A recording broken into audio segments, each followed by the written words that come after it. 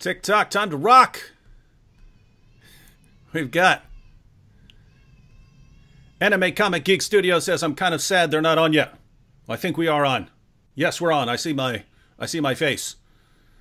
All right, so we're here. So good evening to everyone. I got or I should include good morning and good afternoon because people are uh, tuning in from all around the world.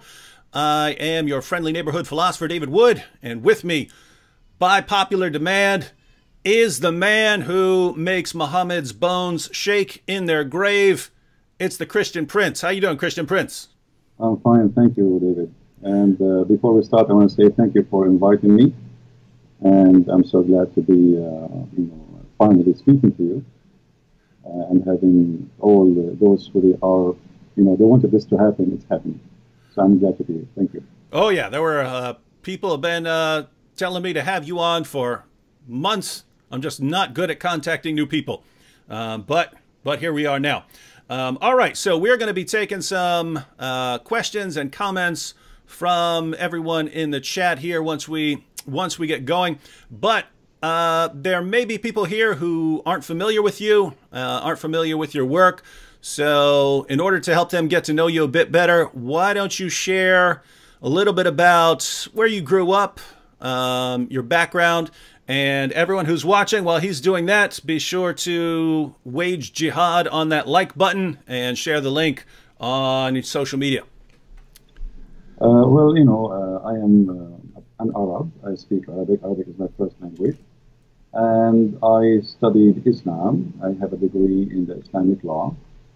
Um, and um, mm, uh, my study is not the reason really I know.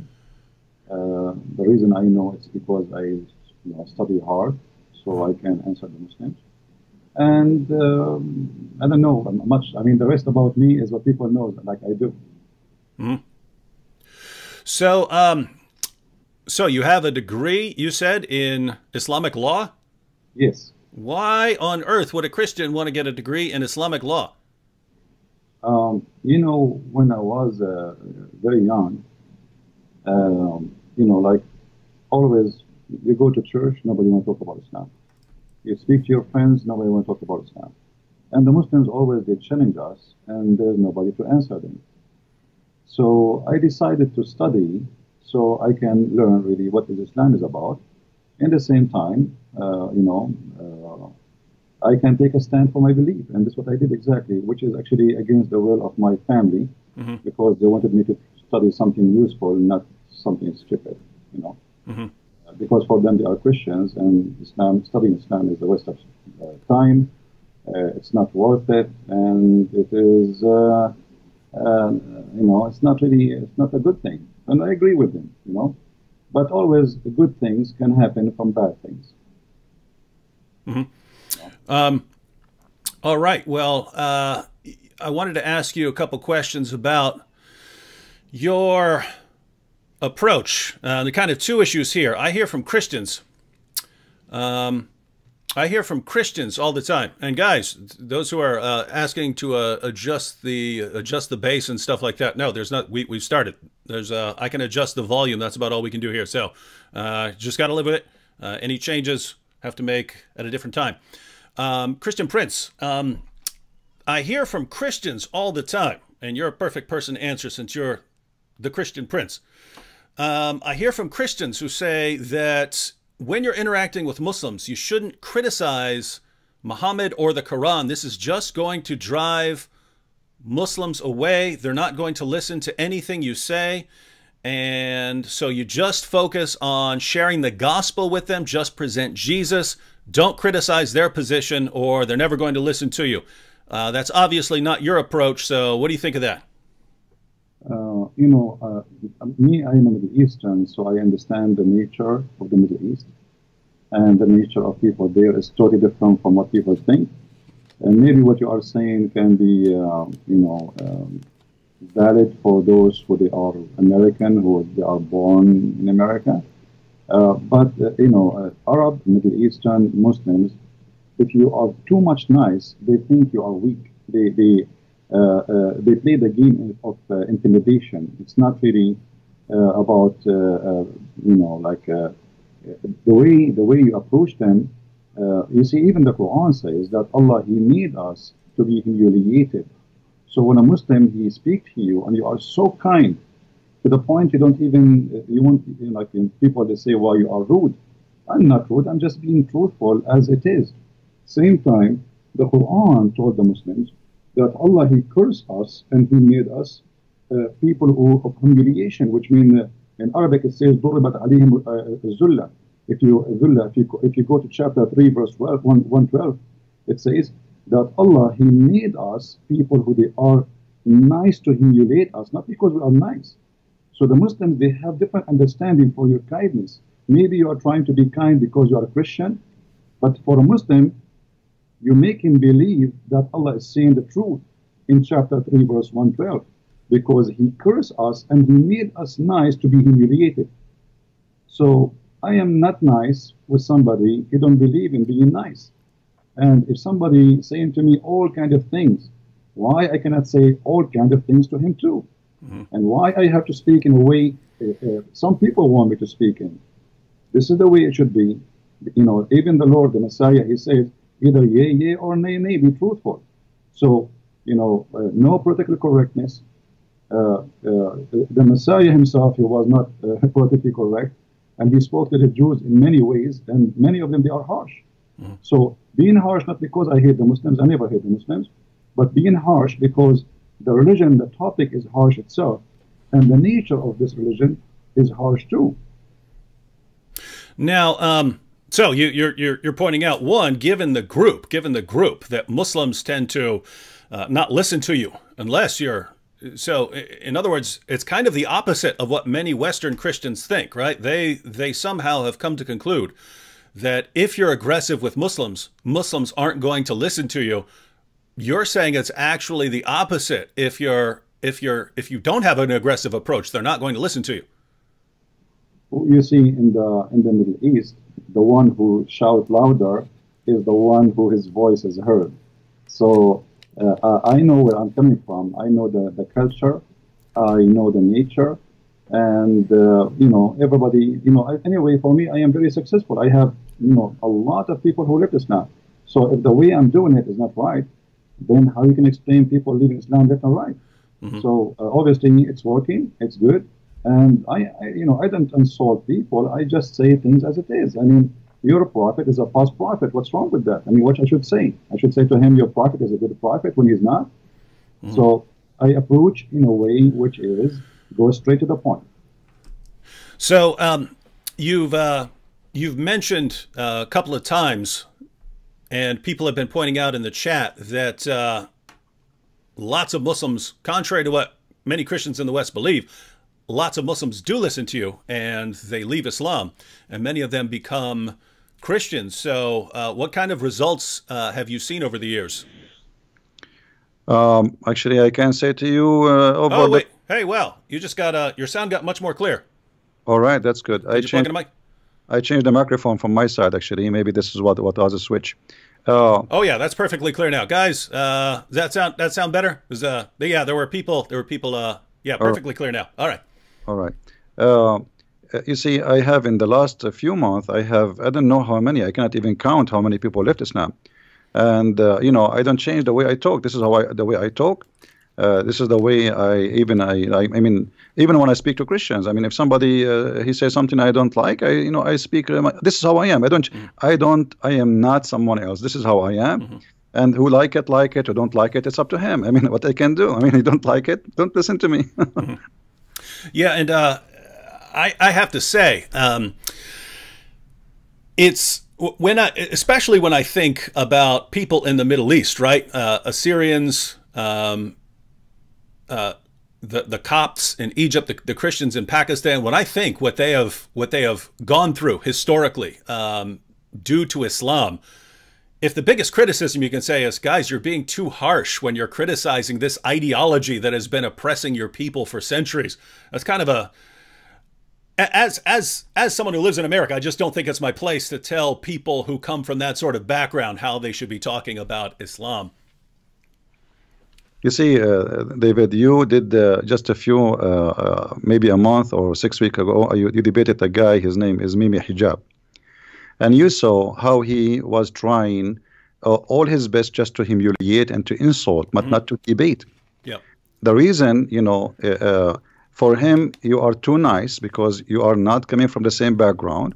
For him, humiliation is a way of winning. It's not he wanna he may wanna make fun, even though he is saying stupid things.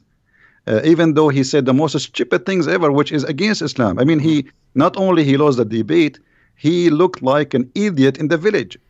So yet he think by making fun he is the winner. So this is a culture thing. This is a mentality. This is a mindset.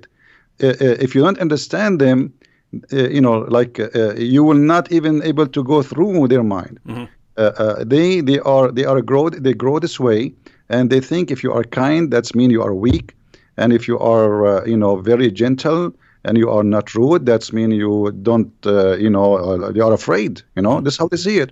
For me, you know, uh, uh, I am from there. I know how to speak to them. Actually, this is why they don't want to get close to me. Yeah. Yeah, and uh, it's interesting. Uh, in in, the, in that for for that debate, they made me agree ahead of time that uh, I would be very nice and not be insulting at all, and uh, be very friendly the entire time.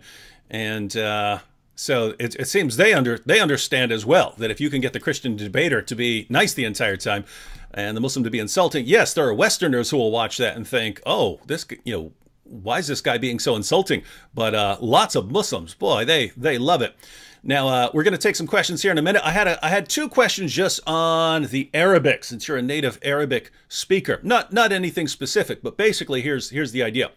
Um, the main argument that that the Quran gives for its uh, divine inspiration is what I call the argument for for the argument from literary excellence, meaning that it's just so amazingly written that it, it has to come from God.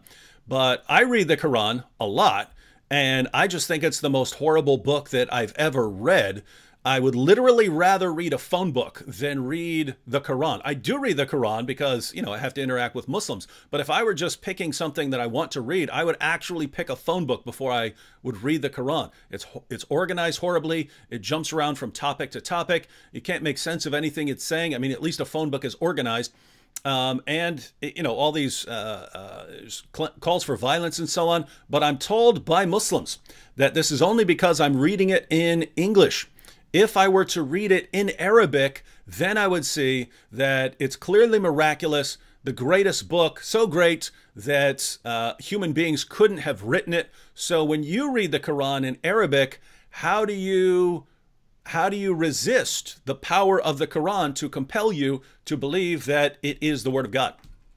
You know, the answer is from the Quran. If you go to chapter 8, verse number 31, the Arab, they were making fun of the Quran, saying this is the fairy tales of the older, the elders.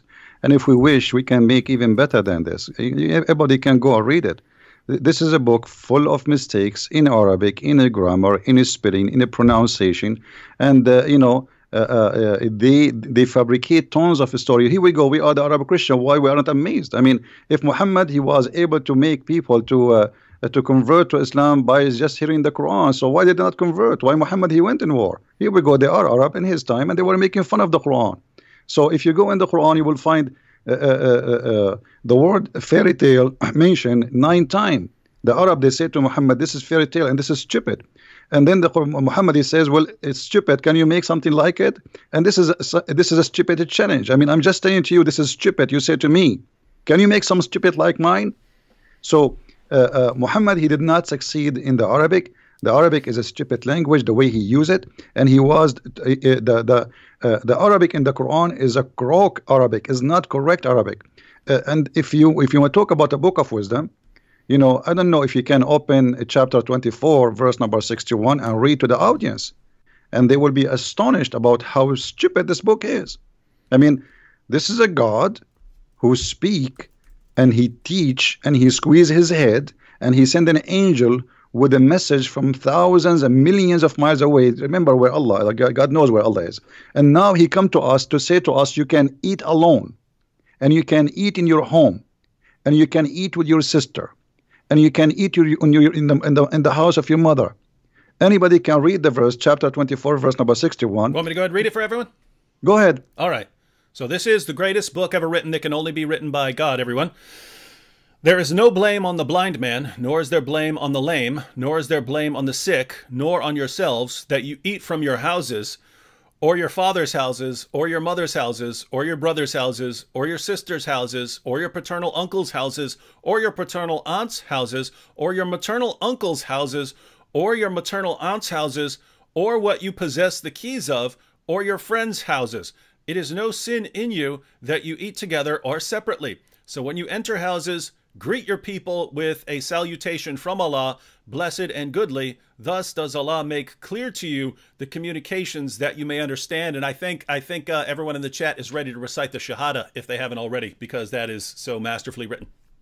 I mean, that's it. I mean, we, uh, no sin on you, no sin. I mean, imagine he's saying no sin if you eat alone or if you eat with somebody else. I mean, this is madness, it's stupid. So he spent, he sent an angel of God and he written in a book of wisdom to teach us to say if you are blind you can eat at home where the blind used to eat where before. I mean uh, uh, in the time of muhammad there's no restaurants. Where do you want to eat? You are blind you cannot walk or you are sick and even if you are not any of those still you can eat at home. I mean look at the news. So muhammad he came to us with something beyond intelligence. It's like super. And then he says to us you can eat in the house of your mother. Finally i'm going to call my mother and tell her hey mom i can eat in your house she will say to me, idiot, you are eating in my house all your life.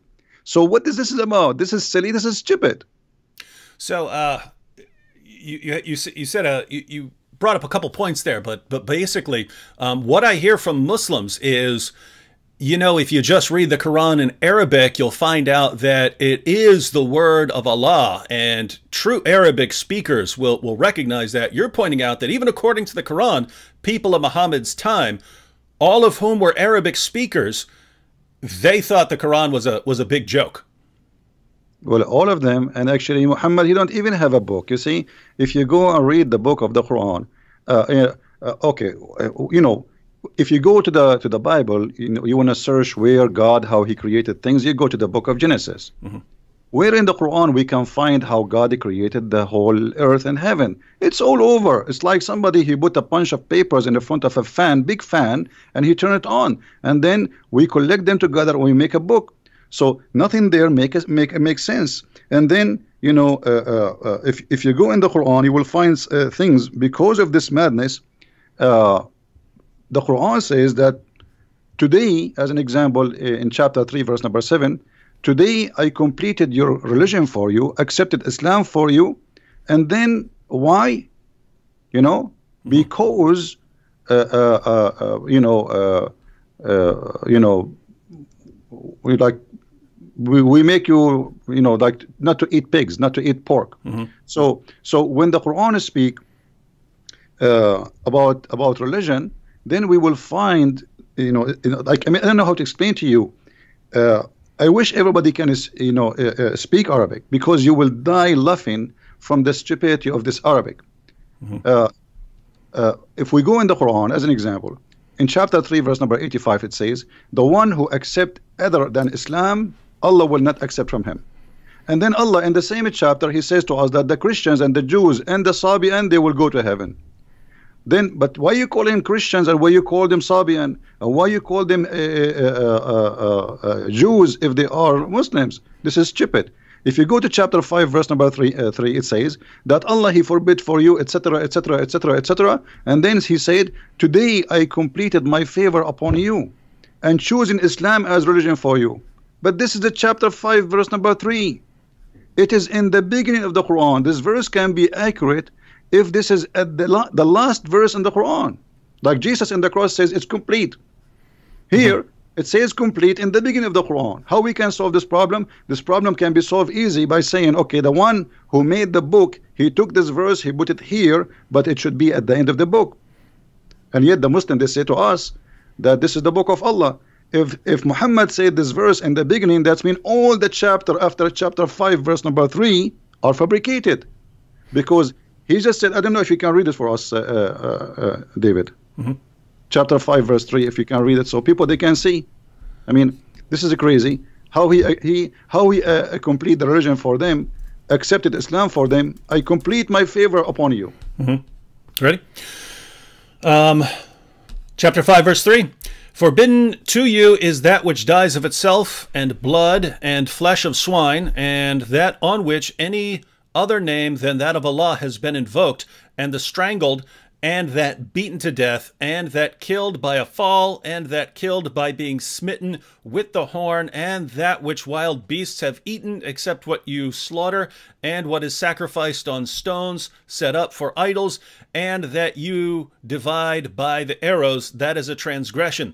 This day have those who disbelieve despaired of your religion, so fear them not, and fear me. This day have I perfected for you your religion, and completed my favor on you, and chosen for you Islam as the as a religion. But whoever is compelled by hunger, not inclining willfully to sin, then surely Allah is forgiving, merciful. I'm sure there are uh, here more people, even more people, ready to recite the Shahada after hearing that. So he completed his favor upon them by saying to them, you cannot eat pork. That's it. Islam is complete now. So all those the chapters after, and here you notice, I don't know if you notice with me, uh, uh, David, that in the same verse at the end it says, after all what he forbid, if you are hungry, still you can eat all of those, which means you can eat pork. Even pork you can eat. But then we find this is a contradiction for chapter 2, verse number 65. Isn't it Allah who cursed the Jews and he made them pigs and monkeys because they broke the Sabbath? Mm-hmm. Why they broke the Sabbath? Because they are hungry. Mm-hmm. Because Allah, He made this fish only appear in the Sabbath. So those people, if they are hungry, they are not allowed. But if the Muslims are hungry, they can eat pork. yeah, I've never, I've never actually made a video on that one. I might have to, uh, I might have to knock out a video on, uh, on that contradiction there. Uh, one, one more question, then we'll, we'll, we'll turn it over to, to chat here. Um, Along the same lines, one of the other things that Muslims say, uh, because one of the main arguments that they give, thanks to Ahmed Deedat and Zakir Naik, is the amazing scientific insights of the Quran, that Muhammad knew things that no one at the time could have known and that weren't discovered until centuries later, and scientists are still marveling at the amazing scientific accuracy of the Quran even today. I sit here and I read the Quran and it looks like a scientific catastrophe. Um, it looked like every, like if you were to invent the most ridiculous picture of the universe that you could possibly come up with, that's what Muhammad believed about the universe. If you could come up with the silliest theories about human reproduction that you could possibly come up with, that's what Muhammad believed about human reproduction. But what I hear from my Muslim friends is, you know, in the Arabic, you find that that that everything is correct, that that it's that it's amazing and has all these scientific insights. Since you read the sources in Arabic, would you agree with the Muslims that their sources are filled with amazing scientific insights that prove that Islam is true? The Quran is the most stupid book ever I saw all my life, and I I challenge any Muslim to prove me wrong the God of Islam even don't remember which one he created first, the trees or the, or the stars. Have you ever heard of, of a maker? He says something in one verse, he said the opposite in different verse. The Quran do not know even how the baby is created. He says that the baby, he was a sperm and then he became a congealed blood which is funny because the sperm was uh, it was a sperm and then it became a congealed blood. Muhammad he explained and he says that the sperm stay inside the mother for 50 days. Have you ever heard of a science like this? But the Muslims, they, the, the problem is when the Muslims, they try to make the Quran as a scientific book, they fabricate the translation, they change the meaning to make it fit with science. As an example, when, when the Quran says Allah, He made the sperm into a congealed blood, the Muslims, they say in many translation, uh, uh, uh, it was uh, you were a sperm and then you became a, a, clot. But this is not true. That's not. It doesn't say that. It says the sperm became a clot. If you go in Sahih al-Bukhari as an example, uh, Muhammad he says in Hadith number two six four four, he said that the semen remain in the womb of the women for 40 or 50 days and this is authentic hadith so this is the science of Muhammad claiming that semen can live for 50 days science says maximum five days. So That's the correct. only error mistake is only a 0 mm -hmm. Yep. That that is correct, by the way, ladies and gentlemen. Uh, in other words, if you go to your biology class and you ask your biology teacher or professor how long can a sperm survive, you'll hear maximum five to seven days. Uh, not so, according to Muhammad. So if you're a Muslim, you could spend a lot of time. You could spend a lot of time correcting your teachers and professors. Um, all right, uh, Christian Prince. We'll, we'll, we'll be talking more about the uh, the Muslim sources and and uh, what the Quran says. Uh, wanted to to ask you a little bit about. Um, you seem to have a lot of problem with your videos getting taken down and things like that. Uh, there's a comment over here by Guy seven seven seven that'll kind of. Um, I'll reply to this real quick and then um, and then get your comments because uh, there is there is an issue with uh, censoring critics of Islam. Now, Guy seven seven seven here says, "So I'm a Christian and got banned for criticism of Catholic doctrine, but you guys criticize Islam for a living. Why ban me?" Um, well, no one's stopping you from talking about Catholic doctrine, Guy seven seven seven. No one's talking. Uh, no one's stopping you from talking about Protestants, Orthodox, Catholics, anything. Uh, when we have a when we have a topic and we're going to be addressing something, if we're going to be discussing the interaction between Islam and Christianity, there always seems to be a small group of people who want to divert the discussion in the chat to something else, right? So flat earthers will show up and we'll start arguing, hey, everything is about flat earth. Uh, people start bringing up political issues. And we're, we're, talk, we're, we're discussing a topic, right? We're discussing issues and there are people who try to divert them. No one's stopping you from talking about those things, but go somewhere where they're discussing those things. If we're sitting here talking about um, if we're talking about whether Muhammad's a prophet and you're over in the comments section trying to prove that the earth is flat or something like that, no one's stopping you from doing that, but do it somewhere where that's actually the topic. So, what you're asking is um, why would you be banned for trying to divert the discussion over to what you want to talk about? Um, I hope when you hear it like that, you can understand the answer, right? If everyone's over in the chat trying to divert the discussion to some other topics, then no one's actually paying attention. And what, what's the point of even having the discussion if no one's paying attention because they're talking about other things? So if you are diverting to any topic, and it doesn't matter what it is, it doesn't, it doesn't matter what you're trying to divert it to, uh, then you're going to have to uh, be blocked from this discussion for that. Keep in mind, guys, there's a difference between um, stopping you your free speech and blocking you from a discussion that you're interrupting, right? In the United States, we have protected free speech. That doesn't mean you get to come into my room and scream in my ear all you want. You can't say, "Oh, I'm screaming in your ear in your house because it's freedom of speech." No, that, that's that's a separate issue, right? No one's going to stop you from stating your positions in certain places, in public, on the streets, in public parks, things like that. Um, so, no one's stopping you from saying your positions on YouTube, Facebook, out in the parks, wherever you want. Um, this this area, it's like our house, and we're inviting people to the house to have a discussion and thing. And you're coming in and trying to divert the divert the, the discussion to what you want to talk about. No, you can't do it. So that's a different issue. Um, try again, but don't do that again, or I'm going to block you again. All right. So Christian Prince. With that said, what is what has been your experience of interacting with Islam on sites like YouTube, which have some sort of commitment to free speech, and they say everyone's welcome to, the, to pay their ideas. Now, um, why do your videos keep getting blocked and so on? Yeah.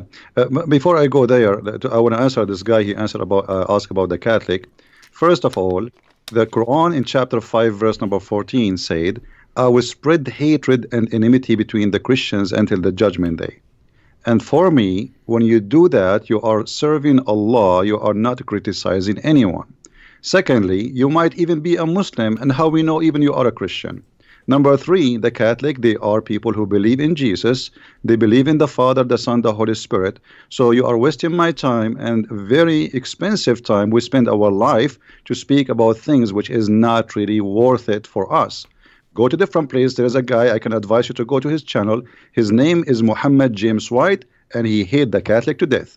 He will welcome you, and he will have you, and will give you a big, long hug. Now we go to YouTube. YouTube, anything we say against Islam, they take us down. It doesn't matter what you say, even if you see say hello. The second you uh, the second you attack Islam, the second you are not welcome. Say something good about Islam, they will welcome you. I cannot even keep my videos for a few hours live on air. I have to keep them taking them down because they keep sending me. I received tons of emails from YouTube saying Pakistan government complained about this video and about this video and about this video and about this video. I mean, and we have to take them, you know, away. So Pakistan government don't agree. Muslims don't agree. I mean, I live in America. What I have to do with Pakistan? And why Pakistan have control of YouTube? So, you know, we cannot say something without being uh, chased, and this is the reality. And because, you know, because of that, I keep asking people to carry on my videos and spread them all over. Mm -hmm. Yeah, and uh, and by the way, guys, I, I say the same thing um, because there's really I, every day when I wake up and I open my computer, I think, okay, I might open it up and it might say you've been banned from YouTube just because of uh, I get messages all the time from YouTube saying your your video has been banned in Germany. This video has been banned in Pakistan.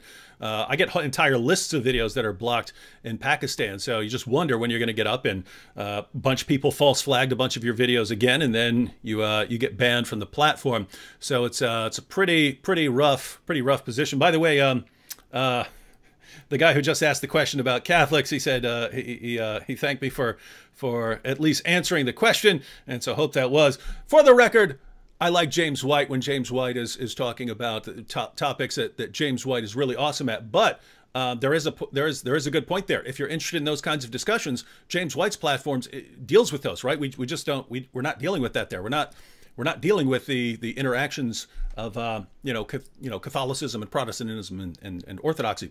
So um, we're going to continue here.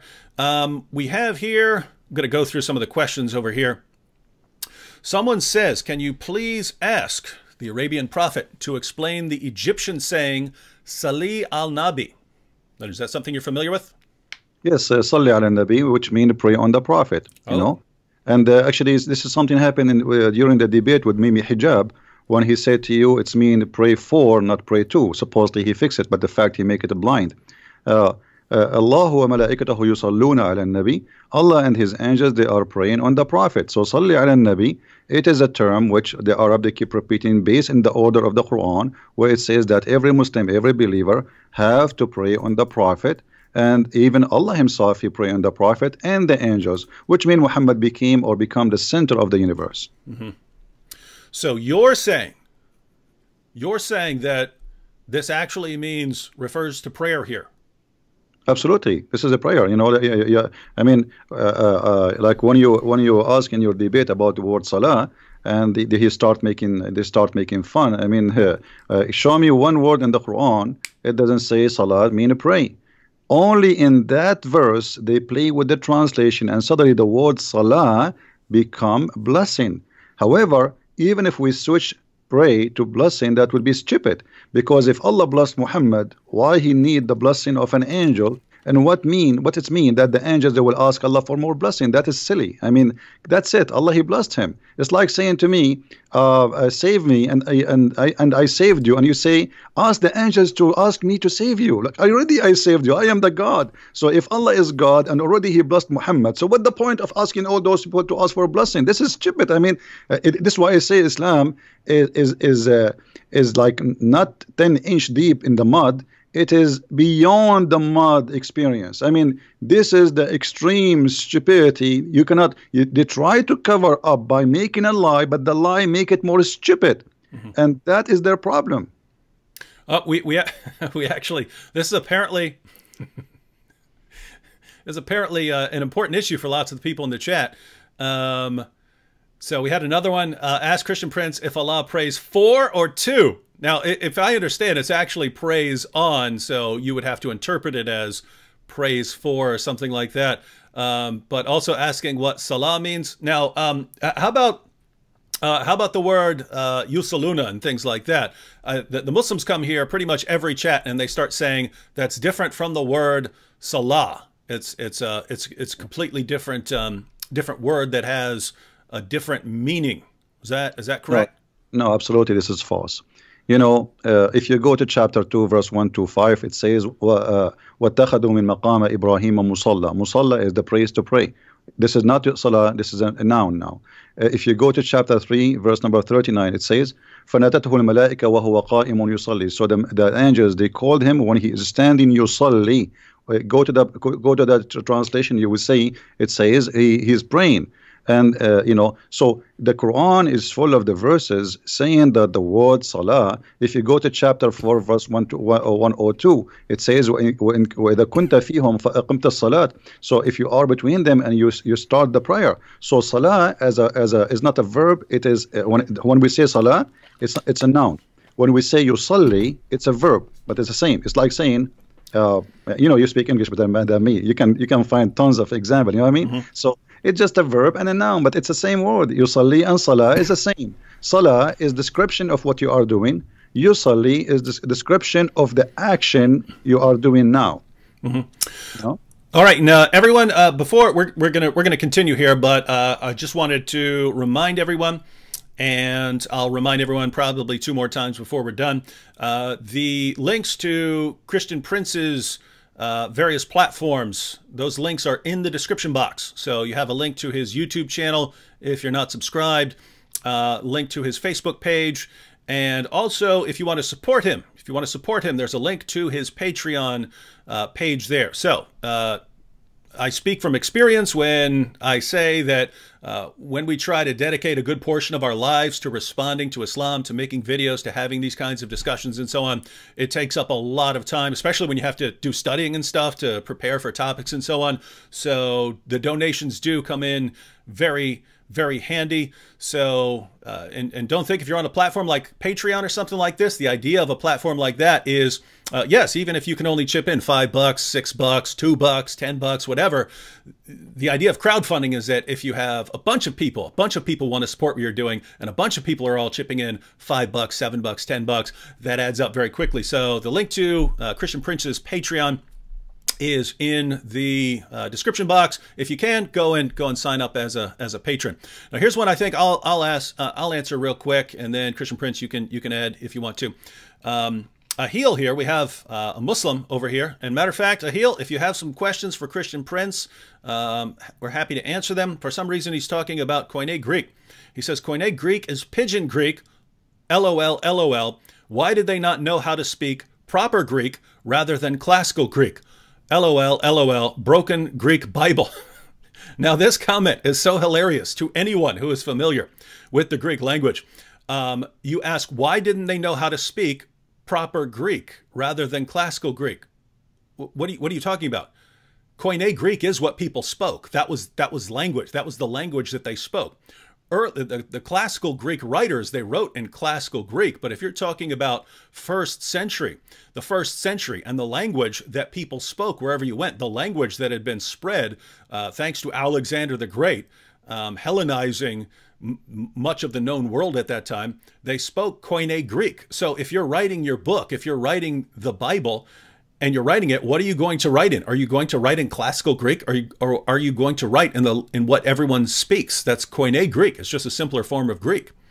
Um, so, just so you know, hope that hope that helps. Broken Greek Bible. you know, you know, David. You know, David. What's up? This guy, this guy is talking about broken language. Uh -huh. I mean, how how he uh, uh, when Zakir Naik he speak, why he don't make fun of him when he speaks stupid Arabic and he do not know Arabic? Did that and Zakir Naik, both of them they don't speak Arabic. Mm-hmm. There is the example. I will quote for you a verse from the Quran. And then he's speaking Arabic, and only Allah knows what he is saying. I cannot understand the word. I am an Arab. I have no idea what he's saying. So this idiot, he is trying to make fun of people who don't speak good Greek. We do not know who they are. But but in the, in, in the same time, he is reciting Quran to his God in a language he don't understand. Mm-hmm. The Greek, they recite the Greek. I do not need even to pray in a Greek. But you recite in the language nobody knows what it's meant. If I ask you what this word mean in the Quran now, he will say only Allah knows best. So shame on you to speak about languages. Even your God Allah in the Quran, his language is broken, and me and the, the Arab, we correct the Quran and we make fun of it. Um, uh, Christian Prince, there's a, there's a guy on on YouTube. Uh, he does his channel's called Vidu Vids, but he does an awesome Zakir Naik impression. But yours is better. That was uh That was yeah. uh, that was the best that was the best Naik. By the way, everyone, Nabeel did an awesome. Nabeel would never do it on stage or anything like that, but Nabeel could do an awesome Zakir Naik impression as well. Uh, should have recorded it at some point, but uh, no, that was that was uh, that was epic there. Uh, here, here we have a question from uh, Alan. Alan says, Alan Silva says, guys, uh, can you guys mentor me in apologetics against Islam so I can argue again, uh, so I can argue with my girlfriend's family? So apparently his uh, girlfriend's family is uh, Muslim. Uh, but Alan, that's kind of what we do in in our videos, right? We're trying to mentor people a lot through through our videos. But uh, Christian Prince, if this guy wants to um, talk to his girlfriend's family about Islam and Christianity, uh, what are the what are the basic steps that you would recommend? Well, uh, first of all, I don't know why even he have a girlfriend. I mean, uh, how this will end? You will marry, and then your family will be broken. You do not know the children will be Christians or Muslims or what.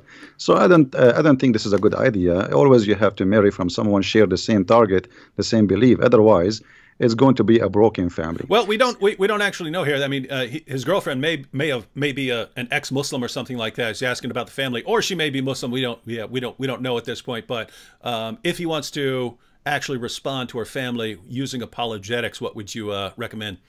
Well, he can, you know, he can uh, watch your videos. He can get my books. I have many books on, on Amazon. He can watch my videos. They are for free. And, uh, you know, we do our best to teach. This is what we do. So watch our videos, learn from them, uh, take reference, and make an argument. But before always you talk about, you, before you open your mouth and speak about a topic, you better educate yourself very well about it. Not only just learn two letters and go and say, hey, I heard this because that will be not really a good idea. You have to get like a, like you know, you don't claim to be a chef uh, if you know only how to make salad. You know, you have to to know how to make many dishes. So you need to educate yourself very well before you open your mouth about a topic. Mm -hmm. um, we have a question here. Why is the word Pharaoh used in the Quran as a proper name? It lacks the definite article, so it is the name of the Egyptian king from the era of Moses, not a title. Uh, is that correct? Is that a problem? Well, you know, the, the, uh, when the Quran says Pharaoh, and this is appear in more than 61 places, uh, the, the Quran don't tell us what who is Pharaoh, but it's talking about Pharaoh as a name, as this guy, his name is Pharaoh, which is wrong. Mm -hmm. Same time, there's many pharaohs. Which one? Mm -hmm. uh, but the Quran, you know, uh, uh, uh, it's very famous about history mistakes. As an example, uh, the Quran mentioned that uh, Moses he met with the Samiri, and I'm sure you are familiar with the with the story where Moses, the the Samart, the the the, Sam, the Samarian, they met with Moses and they spoke with him. So obviously the Quran is not a book of history and it's mixed up. Mm-hmm. And they do not, you know, uh, uh, uh, like, uh, uh, you know, uh, Qarun, Qarun, and suddenly the, the Haman, you know, suddenly Haman appear in the Quran as a, as a minister for the Pharaoh. What Haman have to do with the Pharaoh? Moses and Aaron, they are the uncle of Mr. Jesus in the Quran. So, I mean, who is Jesus there? Even the word Jesus did not appear. There's Mr. Isa. So we have Isa replaced by Jesus in the translation, but this is Mr. Jesus the Muhammad, supposedly. And his uncle is Moses, and his grandfather, his name is Umran. In case you do not know, too, that for the people who are listening, the father of Moses, too, his name is Umran. So the Quran is mixed up. Mixed up. It's, there's nothing. Mm -hmm do with history we can rely on and this is why we laugh always about the history of the Quran. Even Muhammad he could not even uh, uh like uh uh, David I want you to challenge all the Muslims who are listening. Who can show us Israel the, the word Israel in the Quran repeated tons of time. Okay I am reading the Quran and the Quran is the book of God. I want to know who is Israel where we can find in the whole Quran who is this guy who his name is Israel? We cannot I challenge any Muslim. So how this book is a book of God. And suddenly he jump and he start talking about a guy, his name is Israel, children of Israel, children of Israel. Okay, who is Israel? Shouldn't you first introduce to us this person? So Quran is a silly book. It is not the same. You know, in the beginning you said yellow pages. Yellow pages mm -hmm. is better because yellow mm -hmm. pages you have first name, last name, you have an address, and you have a phone number. Mm -hmm. Here there's nothing. Uh, I wanted to ask you uh, uh, about that name, Isa, because I, have read I've read a few theories about the about where that name come from came from. Uh, some people have said that maybe it came it, it came to Arabic through some other through multiple other languages before it got there, and uh, so that's the one that they were using. Um, I've seen uh, maybe it was a special usage because uh, because in the Quran Allah wanted to combine it as a parallel with with Musa, so Musa and Isa. Uh, I've seen that perhaps the Jews were referring to Jesus as Isa using the name Esau because they regarded that as an insult. So when the Jews the Jews of Arabia referred to Jesus, they would say Esau, and Muhammad just didn't know, so he picked up the term. Do you have any theories on why it's saying Isa rather than uh, rather than uh, Yasu? You see, the Muslim themselves did not know really how the name came to existence because we, as an Arab, and all the Arabian Christian history, we never heard of a person whose name is Isa. We call him in Arabic Yeshua. In the Hebrew is Yeshua. So we say in Arabic Yeshua al-Masih. You will not find a single Arabic Christian he used the word Isa. This is only a word created and came through Muhammad. It is possible that maybe the Jews they were insulting, as you said, but really there is no there is no uh, uh, like a we cannot find where this is coming from. And remember, David, that Islam is disconnected religion, which means the Muslims uh, today, they have nothing to do with Islam in the time of Muhammad. The first book written about Muhammad, it was hundreds of years after Muhammad. There's nothing about Muhammad. You know, uh, the Quran itself, the one we are reading today, the, they're saying that this is according to recitation of Hafs. And Hafs, according to Muslims, he was a fraud. He was a thief. He steal books and he claimed that they are his own. So, and his father was the same. So Hafs, he learned the Quran from his stepfather Asim. Asim was a fraud, according to Muslims. Asim and Hafs, both of them, their hadith is rejected. So how you accept his Quran? So they don't have Quran. The Quran itself have no roots. So how we can find out where Isa is coming from? And at the same time, the Quran always come to us with strange names. Okay, who is Yahya? We do not know. Uh, uh, who is, uh, uh, uh, uh you know, Salih? I mean, names, they are coming from the middle of nowhere and Muhammad he inserted them in the Quran. Zulqarnain, I'm sure you know about Zulqarnain. Mm -hmm. Okay, Zulqarnain in Arabic mean the, the man with the two horn. Okay, have you ever heard of a guy, his name is the man with the two horn? Why, he's a cow? I mean, give us a name, what's his name? You don't tell me what he's wearing in his head. Have you ever heard, like now, you are wearing a headset, uh, uh, David, I will say the guy with the headset and then a guy who come after 10,000 years he will know he will recognize David Wood because he was wearing headset this is this is stupid so when you say the man with the two horns shouldn't you tell us first who, what his name where he was which country what language he speak so this is a silly book have no roots and it's a collection of fairy tale stories as we said the, the Arab they keep saying that to Muhammad and Muhammad, he is just trying to make himself a prophet. And okay, they asked him, the Jews, they came to him, they said, okay, tell us about Zulqarnain.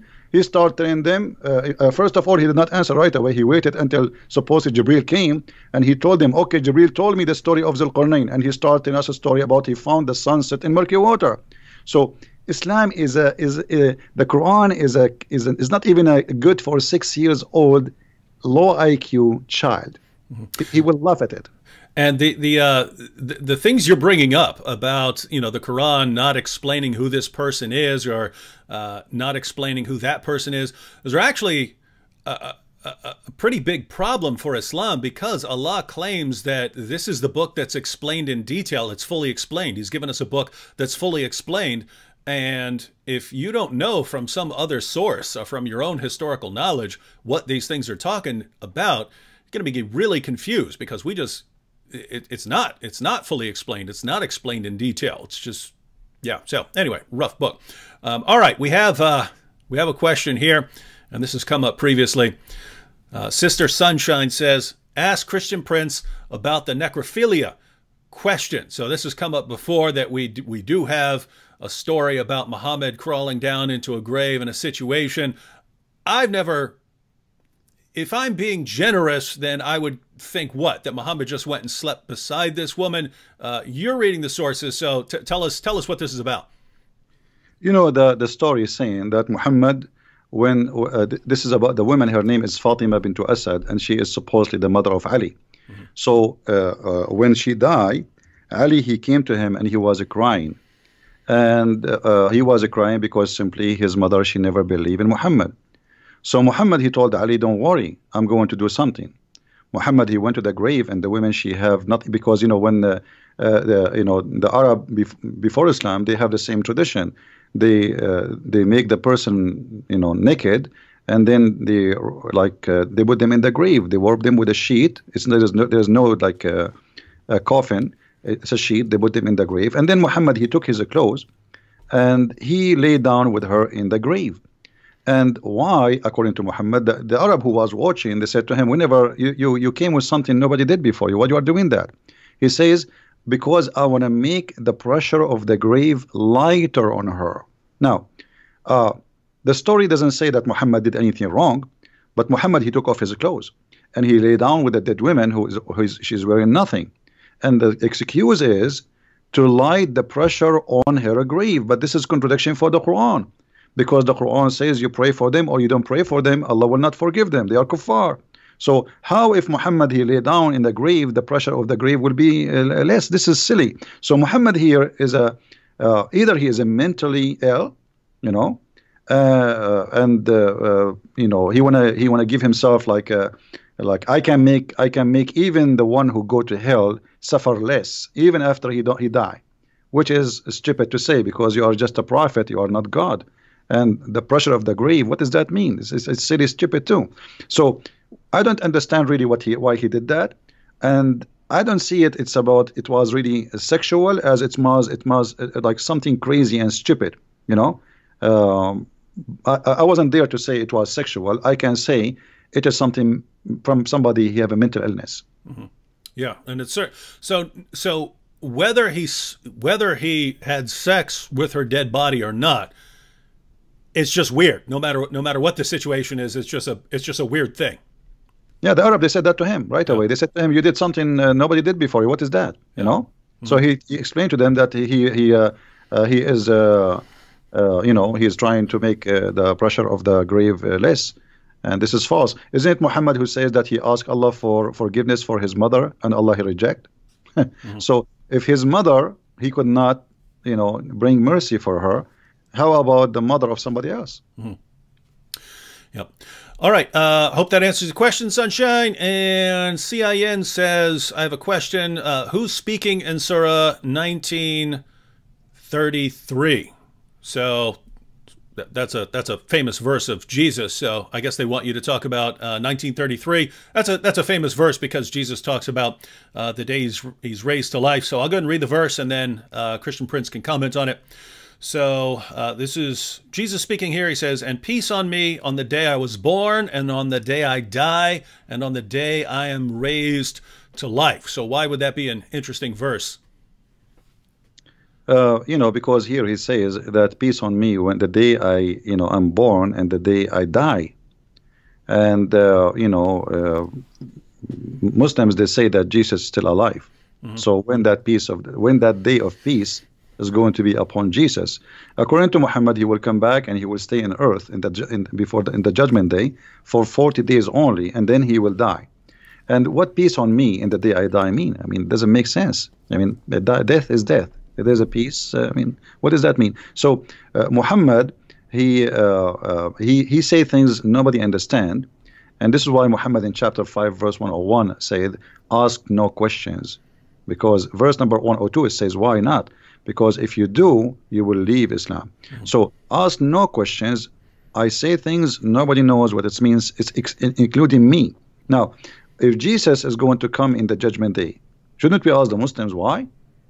Why? Mm-hmm. Why not Muhammad? Muhammad is the last prophet.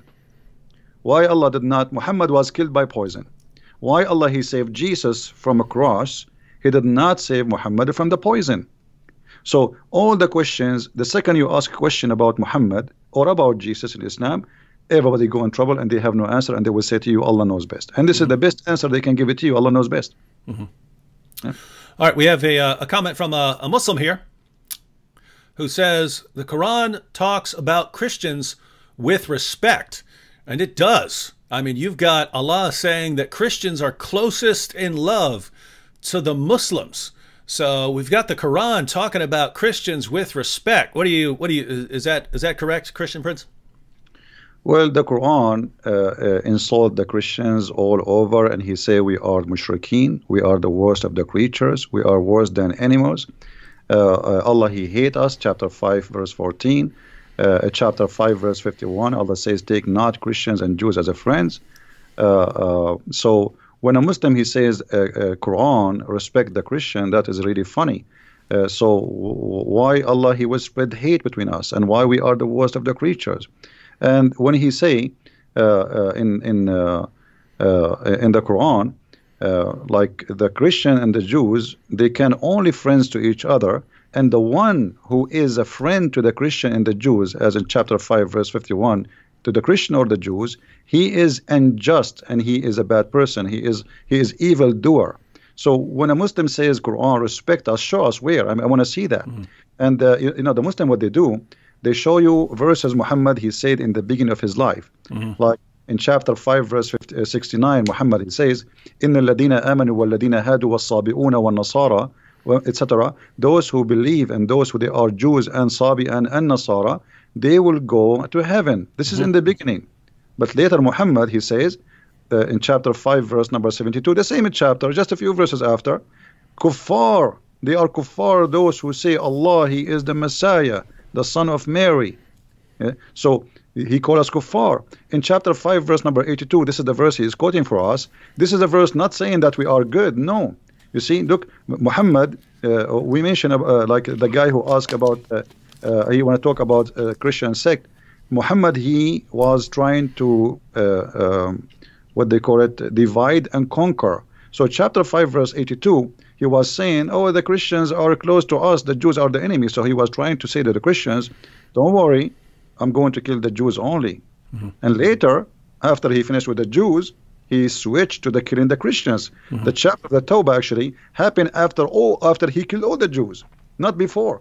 He finished with the Jews, and he finished with all the enemies, and suddenly he came with the Tawbah 9 uh, 29 says, Fight those who don't believe in Allah. He meant specifically the Christians, and he decided to attack the Roman in Tabuk. Mm-hmm. Yeah, and so so everyone, when, when, you're when you're looking at Quran verses and you think, oh, that sounds nice, so you have to uh, you have to kind of try and piece those together in order. When Muhammad starts out as a prophet, uh, it was, according to him, it's, hey, I'm Muhammad and the Muslims are with the Jews and we're with the Christians. It's all of us monotheists together against the polytheists, the idolaters. And then he moves to Medina, the Jews reject him, and then, hey guys, it's it's me, the Muslims, and the Christians, and we're together against the Jews and the polytheists. They're the enemies here. And then by the end, as Christian Prince pointed out, it's it's fight it's fight everyone. It's it's it's Islam versus everyone. So uh, my Muslim friends, uh, that may work with you know your Christian friend down the street. If you're talking to Christian Prince, you're not gonna you're not gonna pull off the the Quran talked about Christians with respect. It's just not gonna work here. So uh, get a better get a better position. You know, David, yeah. what about to say to him, I want to say to you, you are kafir. Let us see what he will do. Let us say, I'm going to say to you, you are najis. Isn't it Muhammad? He says that the Christian, the Jews, all who don't believe in Allah are najis. Najis yep. means filthy, filthy. dirty. Mm-hmm. So if I call you najis now, is that respect? I mean, they say silly stuff. Those things can work with those who do not know. Yep. Don't try those tricks with us. You have no idea you are talking to who. Yep. Um, here's a good one. Uh, here's a good one, Christian Prince. I'd actually, I, I, I would join this man as well in hearing your thoughts on this. Um, he says, Christian Prince, do you think that Muhammad received a satanic revelation and believed his message, or do you think he simply saw prophethood as a way to gain power and knowingly created a fabrication? So was was Muhammad sincere, but he was deceived by evil spirits, or did he know what he was doing? Uh, you know, uh, we can say both, but I believe strongly if you go to Sahih Muslim, you will see Aisha in hadith number 1464. She said, Inna rabbuka yusari'u ila hawaka ya Muhammad. I see that your Lord, your Allah, he just trying to satisfy your sexual needs. You know, she's talking about his sexual. He make verses saying any woman she want to give herself to the prophet, so the prophet he can sleep with her. So even the household uh, uh, uh who live in the household of Muhammad, Aisha, his favorite child wife, she got him busted. I see that your Lord, he has hastened for your desire. What desire we're talking about? Sexual desire. So it's very clear that in the time of Muhammad, people didn't notice that this guy, he is God. He is the God. He is the one. God is just a puppet. He use him so he can control. So he have mental issue. I can tell from many issues. As an example, he have a low IQ. You know, once uh, uh, uh, uh, a, a guy he came to his uh, to his house and he is blind. He ordered the wives to cover themselves, and he they said to him, "But isn't him blind?" mm-hmm. So Muhammad he got busted. So he said to them, "Well, are you blind too?" But you are asking them to cover themselves. I mean. mm-hmm. I mean, this is this is saying that he is he he have a low IQ. If you read the chapter of 18 in the Quran, there's no way anyone he have a little intelligence he will say and he will make such a chapter. The whole chapter is a joke. So Muhammad he have a low IQ, but he can be fit for that time for those Bedouin who live in the desert. They are not educated, but he could not convince the educated Jews and Nasara in his time, and this is why they rejected him. Muhammad he said, if I was able to convert 10 Jews only, the whole Jews will convert, which means he could not convert 10 Jews. You believe it? 10 mm-hmm. Jews, he could not make them believe. Mm-hmm. All right, uh, next question is from uh, Jack Sparrow. He says, David, please ask Christian Prince, how does the Shahada sound before Muhammad? So there is a Shahada before Muhammad. So how does this sound? You know, first of all, the Shahada is something uh, funny because, uh, uh, you know, the word Shahada in Arabic is witness. So how you can witness for something you did not see? And the, uh, you will see that the Quran says that Allah Himself, He says Shahada. So, Shahid Allahu Allah ilaha illahu wal malaika, chapter 3, verse number 18. So, Allah Himself, He says Shahada. Okay, Allah, He says Shahada to who? So, the, the, the Shahada I, I believe it was uh, uh, Muhammad. He is trying to enforce himself on people to agree that he's a prophet, and he want them to declare it. Otherwise, you die. And then, because if you declare it, people will hear it, and then you, there is no way to return. You will be rejected by your tribe, by your family, because you declare that you are a, you are following Muhammad. So Shahada it was a way to sign in in the army of Muhammad with the point of no return because there's two issues here, two risks. If you leave, Muhammad will kill you. And if you join your family, they will reject you. The Arab, the tribes, they will not like you no more because you join the gang of Muhammad. Muhammad is not is not a really a, a, the Arab. They never saw saw him as a, as a prophet. They saw him as a, gang member.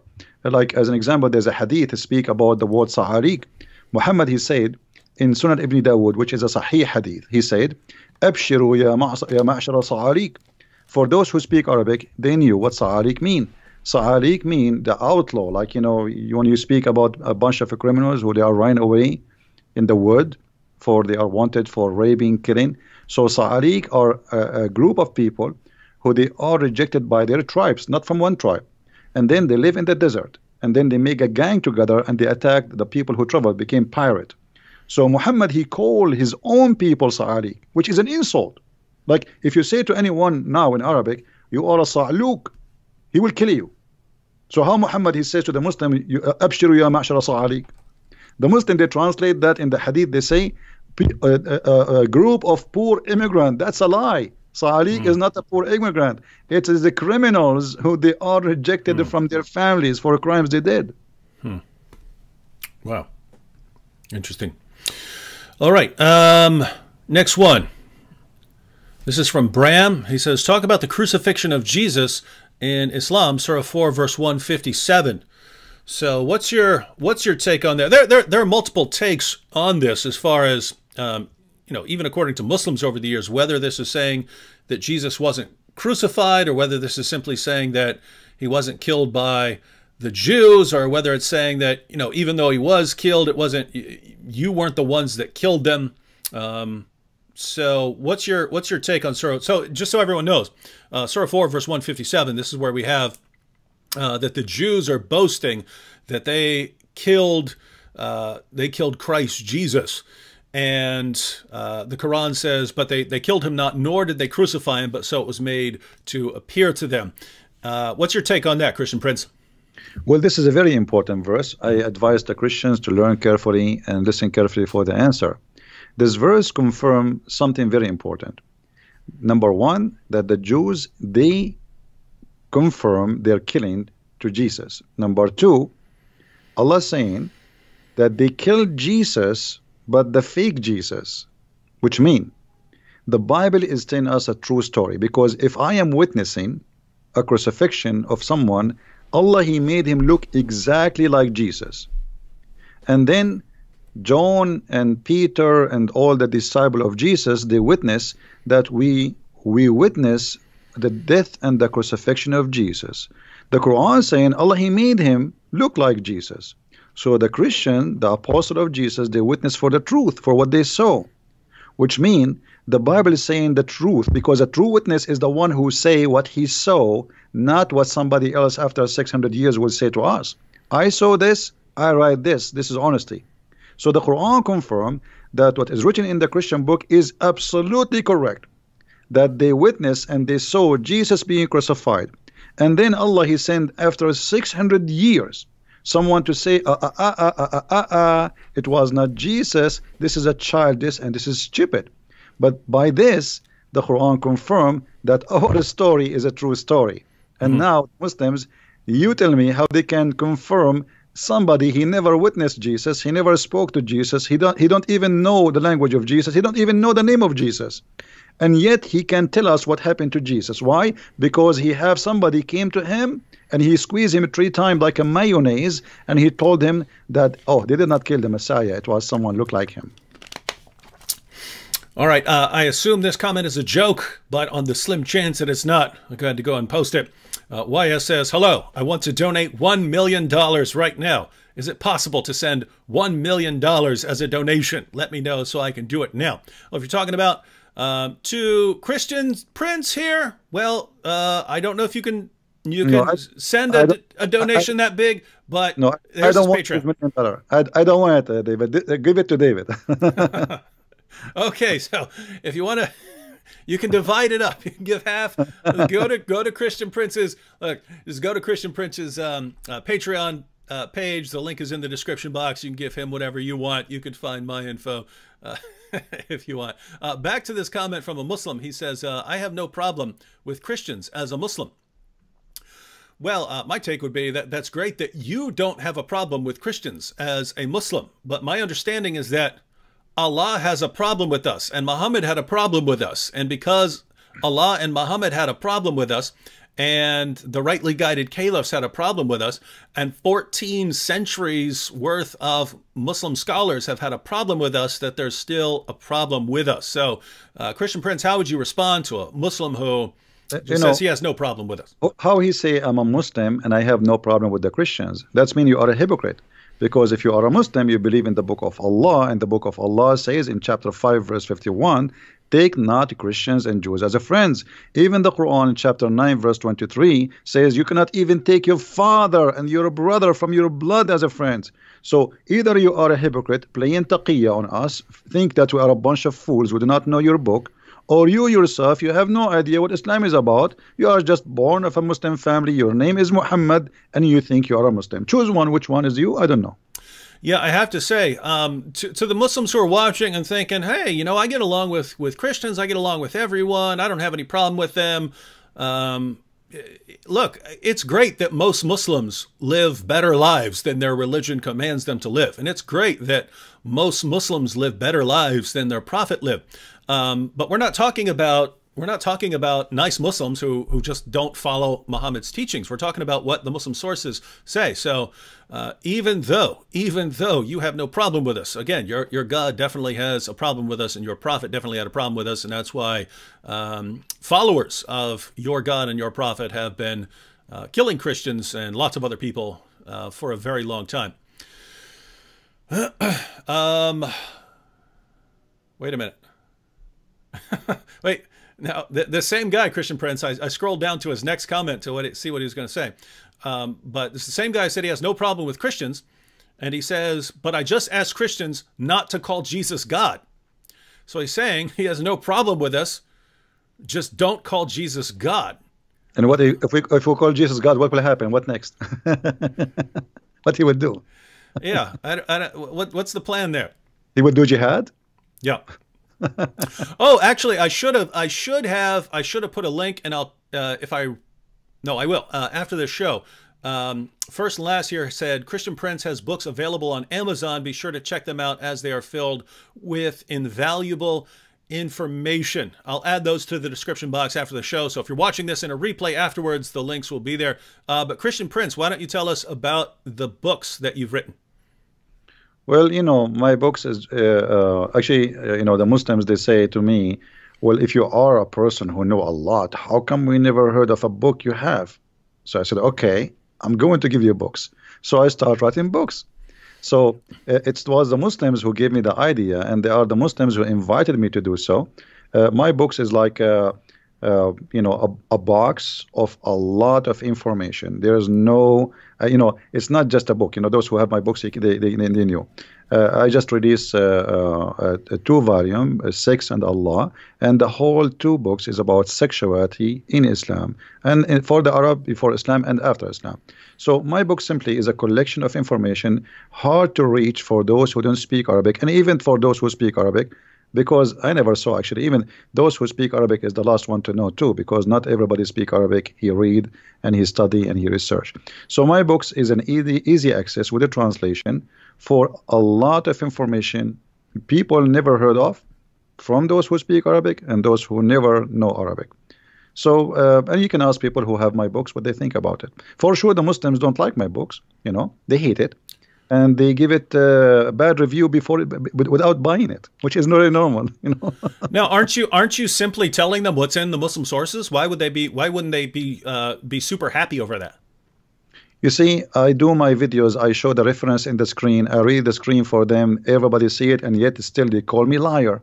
So Muslim, when he sees something very, very, I mean, let us say upsetting, something uh, show something really crazy about their religion the only the only thing they can do either they leave Islam or they go they go in denial and they say liar liar liar. So I hear always liar. I heard it from many people and many of them by the way they accepted the Christ and they left Islam. But in the beginning they say liar because it's shocking. It is it is really disgusting. What are you talking about? This is my prophet the mm -hmm. prophet I love. I heard good news about him. You know David you do not live in the Middle East. If you go in the Middle East you go to the bedroom you hear the Quran because because they play it in the in the speakers you know in the in the loudspeakers you go to the bathroom even in the bathroom you hear the quran. You open your tv everybody speaking about the amazing the most uh, prophet muhammad. You open your radio it's the same. You go in the bus it's the same. You drive your car it's the same. You go to the school it's the same. So wherever you go there's one guy you, you see like a like you know a, a certain time that the American movies have only Sylvester Stallone. So Muhammad is the only Sylvester Stallone for the last 14 centuries. Mm. so how dare you to say something we never heard of? So they got shocked they got so upset but slowly they understand that this guy is not lying it's true. He's showing us it's in the front of us. Mm -hmm. they will accept.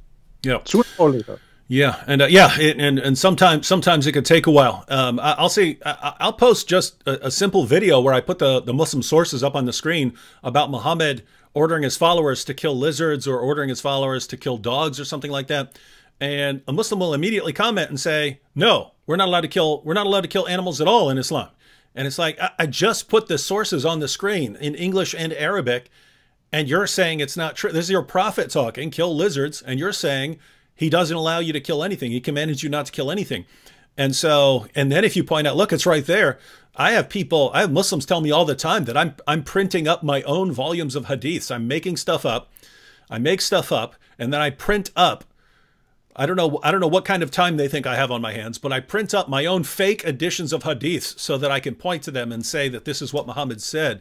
And uh, it's just amazing that, you know, a Muslim will hear something from his mom when he's growing up. And then when you show him that his prophet said the exact opposite, he'll stick with what his mom said and accuse you of, of making it up, even though it, it's not hard to go on a Muslim website and look up uh, look up these sources. Interesting stuff. Um, all right. Uh, someone asked what what's the Islamic concept of an apostle? What is an Islamic apostle? Uh, if Muhammad's an apostle, is Isa Jesus an Islamic apostle as well? Uh, I don't know what what they mean by apostle. Are you talking about like a messenger? Uh, yeah, he's talking some, some some yeah some some Quran translations will translate it as apostle, and other others will will translate it as as messenger. Yeah, well, uh, there's no like you know apostle is should not really appear as a translation. It should come out as either either as a nabi, which means a prophet, or a messenger, mm-hmm. uh, because Muslims they make a differentiation between a prophet and the messenger, which is very silly too. Because how you can be a messenger but not a prophet? You know, mm-hmm. the second you deliver a message from God, that is a prophecy from God. And, uh, and and God Himself is the first prophet because the, the true the true prophet is God. He is the one who prophesies about the future, and the rest they carry the prophecy. So Muslims they have a very uh, uh, funny understanding that there's there's a messenger and there's a prophet, and Muhammad is both of them. He's a messenger and he is a prophet in the same time. But here, uh, David, maybe you can ask the Muslims who they are in the crowd can somebody give us a prophecy of the Prophet Muhammad in the Quran? Mm-hmm. Like what? What? I mean, what about the uh, what about the war between the uh, the Romans and the Persians? What do you think of that? If you go in the Hadith, I just made a video about it a few days ago. Oh yeah, oh that's cool. It, yeah, it, it's it says that uh, uh this Hadith, re, this uh, this uh, verse was revealed after the after they won, not be, not before. mm you know? So muhammad he uh, uh, muhammad he said that verse after uh, after the roman they won the war. Secondly if you go and study uh, uh, you know uh, let, let, us go first to the hadith. Just just let me get the reference. And this is sahih. This is sahih okay let me let me give you the link david maybe you can read it there is that okay um I'll give it to you in Skype. You, maybe you can open it, and you can read it better than me. You know, so you can have the reference, uh, uh or or people who can read it. It says it clearly there that when the Roman they became victorious, this verse came. Oh, I got it. All right. All right. So, yep, this is Sahih, Jami at Tirmidhi. Abu Sa'id narrated, on the day of Badr, the Romans had a victory over the Persians. So the believers were pleased with that. Then the following was revealed. The Romans have been defeated up to his saying, the believers will rejoice with the help of Allah. He said, so the believers were happy were happy with the victory of the Romans over the Persians. So how this can be a prophecy? The, the verse came after they won the war. How this is can be a prophecy? This is stupid. I mean, right? Mm -hmm. That's what it says. So they won. The Roman they won, and Muhammad, he said, the Roman, they were victorious. So what is the prophecy? Same time, even if this hadith does not exist, we still we get them busted because Muhammad, he used in the Arabic the word bada. And the word bada is between 3 to 9. And the final victory, uh, uh, the, the, the Roman, they lost Jerusalem in 614. And the final victory, it was uh, uh, 28 and 29. So Muhammad is still, he got busted either way. Either if it is the, he, he, he did he say that before they won or if he say that after they won. But imagine after Trump he won I say let me give you a prophecy. One he won and the Republican will rejoice. That's mm -hmm. funny. He won already. He won a year ago in the year 2016 so the, the hadith in front of you is very clear same time uh, there is a question and no Muslims can answer why the Muslims will rejoice for the Roman victory isn't it the Roman are kuffar mm. Why they will rejoice for the victory of the Roman? What they have to do with the Roman? Hmm. So, and, and and by the way, everyone, uh, uh, Christian Prince, uh, as far as I know, this is the main prophecy that Muslims go to. So you're saying that they're the main one they go to when we when we ask them uh, about a prophecy here, it fails completely. Absolutely, it's stupid in either way. Uh, because the the years, if, if, if you see this hadith here, if we say it's not exist, but they cannot say it's not exist. It's sahih, as you see. So the, the Roman, they were victorious, and then the following verse was revealed. It's very clear. So it, it's revealed after they've been victorious, not before.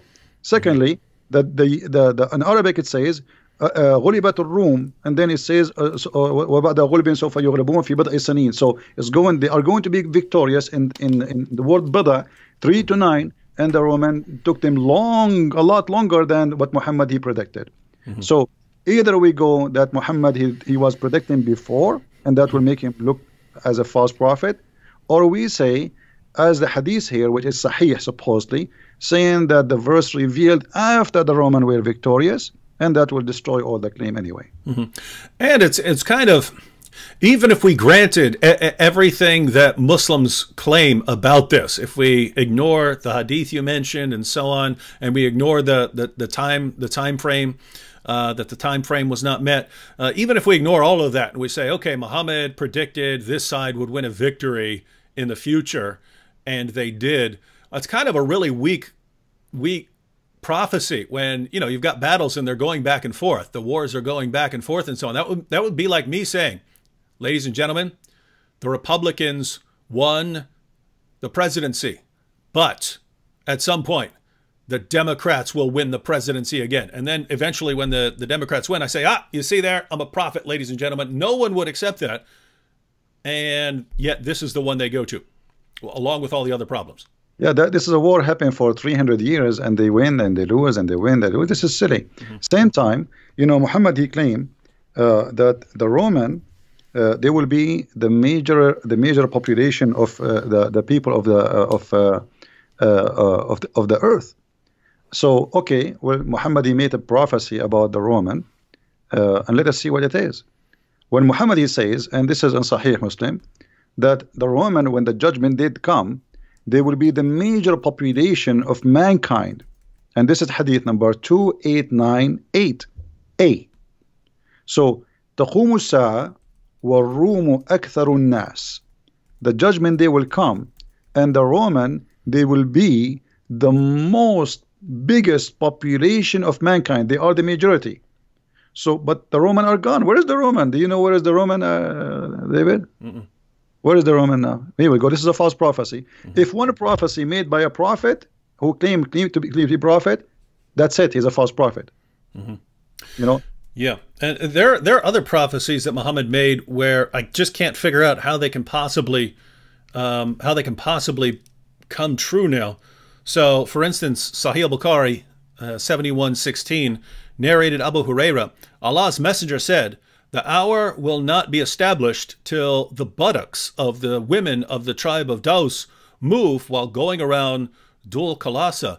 But that, that place was destroyed by, by Muslims a long time ago. So it's never going to happen. They're, the people of that, the women of that tribe are not going to be marching around this place um, anymore. And you have, you have, you have passages like that where it doesn't look like they could ever come true unless this tribe makes a comeback and then you know goes back to its practices and starts walking and rebuilds this place that that uh, Muhammad's followers destroyed. Uh, then you got others which, I mean, if Muslims really really take their prophet's words seriously, they should be going and trying to confirm them. So let me give an example. Sahih al-Bukhari 7119, narrated Abu Huraira. Allah's messenger said, Soon the river Euphrates will disclose the treasure of the mountain of gold. So who uh, so whoever will be present at that time should not take anything of it. So according to Muhammad, there's a mountain of gold below the Euphrates, a giant mountain. So if Muslims think this guy's a real prophet, they should really be dig- they should take some metal detectors out and be at the Euphrates and find this giant mountain of gold. They'd be, they'd be rich forever. Well, uh, as long as you mentioned the, the Euphrates, uh, do you know where the Euphrates is coming from, according to Muhammad? Where's that? It's coming from heaven. When Muhammad he went to the seventh heaven, he found that the roots of the, the rivers Sihan and Jihan and Euphrates and the Nile, those are four rivers are known. Uh, all of them they are coming from the Jannah, and this is this is this is Sahih. This is not uh, you know this is uh, like uh, you can go even to Sahih Bukhari uh, let us see, uh, 5, 6, uh, 110. So uh, uh, just type type the word Euphrates in Sunnah.com, you know, and you will see, they see the reference. So uh, there is four rivers, two of them appear and two of them underneath. And he asked Jibril, who are they, those those rivers? Jibril told him, those are the rivers, the Euphrates and the Nile, you know. Mm-hmm. So oh, this is a lie. I mean, this is obviously it's a lie. So if Muhammad is a prophet, he prophesy lies. What about the Quran?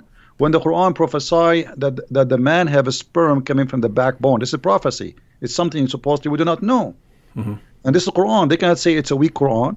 So, you know, uh, uh, chapter 86, verse number 6 and 7, it says, uh, uh, uh, من بين الصلب والترائب, from the backbone and the ribs of the women. Not only the ribs, the location of the necklace, the word taraib, is the location where the women have, like if you, if a woman, she put her, uh, like if she is wearing a cross, and it's it's kind of short, is going to around tight her neck, and that location where the cross will uh, will, will set is exact what we are talking about. You know what I mean? Like the, the the touch between the ribs and your neck. You know the the hole there. This is exactly where Muhammad he claimed that women they have a sperm, and they, it's coming from there, and the man have a sperm and coming from the backbone. What about the chapter of the moon where he said the judgment day is near and the moon split?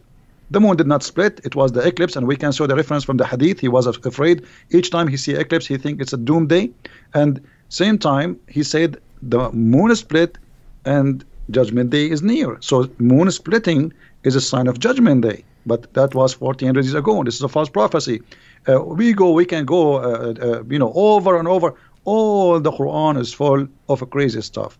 One lie will make you call, will make you be called a liar. So how about having hundreds of them all over the book? Um, so, uh, uh, wanted to bring up something to you because you mentioned it earlier that the Quran is uh, affirming what happened with Jesus in, in the Christian position. Uh, Sam Shamoun and I use a lot what we call the Islamic dilemma that the Quran affirms. And I'm, I'm bringing this up because I scrolled past a comment. Um, I don't, I don't, I could go back and find it, but um, uh, someone was saying that the position of the Quran is that uh, we uh, it's the verse from Surah 2 where it says that we, uh, well, it's talking about the Jews and it says, woe to those who write the book with their own hand and so on. But what is, what is the Quran's position on the previous scriptures, the Torah and the Gospel? Because every Muslim that, that you ever run into pretty much believes that the position of the Quran is that Allah revealed the Torah and the Gospel. They were corrupted by Jews and Christians, and that's why Allah sent the Quran to basically uh, give us an uncorrupted revelation. What what do you what do you think is the actual position of the Quran? In other words, if you just read the Quran beginning to end, what would you believe about the scriptures of the Jews and Christians? Okay. Uh, if we go in the Quran, uh, David, how many times we hear the Quran keep saying the people of the book? A bunch. A lot, right? Okay. So let me let me ask you, and you know, I, I, I, I there is something I notice about you that you are very really. I can say you are sharp. You know, you are smart. Can you call me an Arab Yep. when I'm not? No. You cannot. So can you call me uh, uh, an Indian if I am not? No. So when you call me the people of the book, it's mean they have a book. Mhm. So how they are called people of the book in the time of Muhammad, and we are called people of the book today. Yet we don't have a book, according to the Muslims. This is how silly this religion is. Mhm. It's like saying to you the guy with the car, but he don't have a car. Mhm. It's like saying to you the guy who have hair, but he don't have a hair. So this is how silly. Same time, the Quran full of verses speaking about the Quran confirming what is with us, and you mentioned, you know, uh, uh, like you know, uh, confirming what is with them. Uh, as an example, chapter 2, verse number 89, it says, وَلَمَّا جَاءَهُمْ كِتَابٌ مِنْ عِنْدِ اللَّهِ مُصَدِّقًا لِمَا مَعَهُمْ Approving, confirming, believing in what is with them, not before them. So, and uh, uh, chapter 2, verse number 91, same. Chapter 2, verse 101, it's, it says the same. Uh, chapter 2, verse number 213, it, it says the same. So, you know, all all the uh, uh, all over the Quran we find the same reference, but the Muslims they cannot find really anything. It says that the Bible is corrupt. You see, the Muslim they says uh, the Quran says uh, يحرفون الكلم عن مواضعه. What does that mean? You go to the interpretation, they say they change the meaning of it. This is their scholars, not me. Mhm. They, it doesn't say they are corrupting the book. It says they change the in, the interpretation of it, and that actually was, if you remember the story where Muhammad he took an oath on the Torah. You remember? Mhm. Okay, the, the a, a Jewish guy he put his finger over the word stone. Okay, stone them. The punishment of stoning. So this is what is the the, the, the, this is what the verse is talking about. But this is how how that, how that can be corruption. You know, Mhm. the corruption supposedly here happened because the guy he tried to hide the word in the Torah. And if it is corrupted, and Muhammad he knew the book is corrupted, uh, where is the hadith where Muhammad he says the Quran the, the Bible is corrupted? I want to see it. Same time the Quran never says, you know, uh, what they are claiming to be, and even their scholars don't agree with them.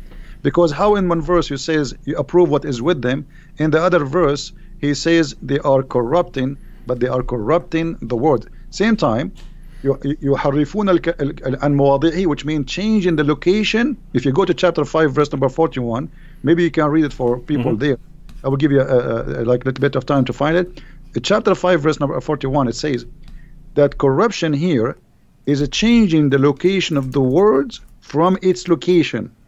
Does it say that, uh, David? Um, uh, so 541, O Messenger Muhammad, let not those who hurry to fall into disbelief grieve you of such who say we believe with their mouths, but their hearts have no faith. And of the Jews are men who listen much and eagerly to lies, listen to others who have not come to you. They change the words from their places. Okay. So the corruption here is not taking the verses, is changing the words from their places. All right. Now, if this is corruption, that means the whole Quran is corrupt. Because a chapter of, uh, uh, uh, you know, we just mentioned how the Quran says, Today I completed your religion for you, right? The Muslims, they agree that the first chapter was given to Muhammad is now number 96. So if it changing the words from its place will make corruption, that means the Quran is the first one to be called corrupt book because the whole Quran is messed up. This is not how Muhammad received the Quran, even according to Muslims. So here, there's nowhere it says that they took the verses out of the, the Bible. All it says, يحرفون الكلام من ب- من بعد مواضعه. Some of it, but if you go to the interpretation, it says that they change the meaning. They do not really take it, not literally. They change it from its. Uh, and this is the story about the Jewish guy who put his hand over the verse where it says stoning to death. Yeah, and, and yeah, and just so everyone know, th- read that entire passage, everyone. Uh, uh, we just went to Surah 5, verse 41, but the entire passage that follows, especially verses 43 and 47, and then 48, uh, they they basically give an outline of of the the true position of the Quran. So when when uh, the Jews come up to Muhammad to settle a dispute, Allah gives a response in verse 43 that. Um, they don't need you, Muhammad. They don't need you, Muhammad, because they've got the Torah. And if they don't judge by the Torah, then they're in trouble. So the position now notice that would make no sense if the if the Torah has been corrupted. Then they would need Muhammad to correct them. But the instead, it's hey, Muhammad, they don't need you. They've got the Torah. Then in verse 47, Christians are supposed to judge by the gospel. And then verse 48, and Muslims judge by the Quran. So the position of the Quran is that each group has its book that it's supposed to judge by. Unfortunately for Islam, Muslims eventually went to the Torah and the gospel and realized they don't line up with uh, with Muhammad. That should have been that should have been the clear proof that you need that you're dealing with a false prophet. Instead, you just said, "Oh, I guess they corrupted it," contrary to everything that Allah has said in uh, in the Quran. You know, and uh, uh, David, what about verse number uh, 68, chapter 5, verse number 68? Oh yeah, Does- awesome. Doesn't it say that you people of the book, you should uh, practice, you should follow the Torah and the Bible? Yeah, Okay. it says we have no no ground to stand upon if we do not stand upon the Torah and the gospel. So how we don't have a book and we uh, the Quran saying to us we have to follow that book? That's really stupid. I mean, give Yeah. us the book. Yeah, guys. So, so going back to what Christian uh, Christian Prince was saying earlier, that the uh, that the Quran repeatedly calls us the people of the book, calls Jews and Christians the people of the book, right? So, it's talking about a book that we have.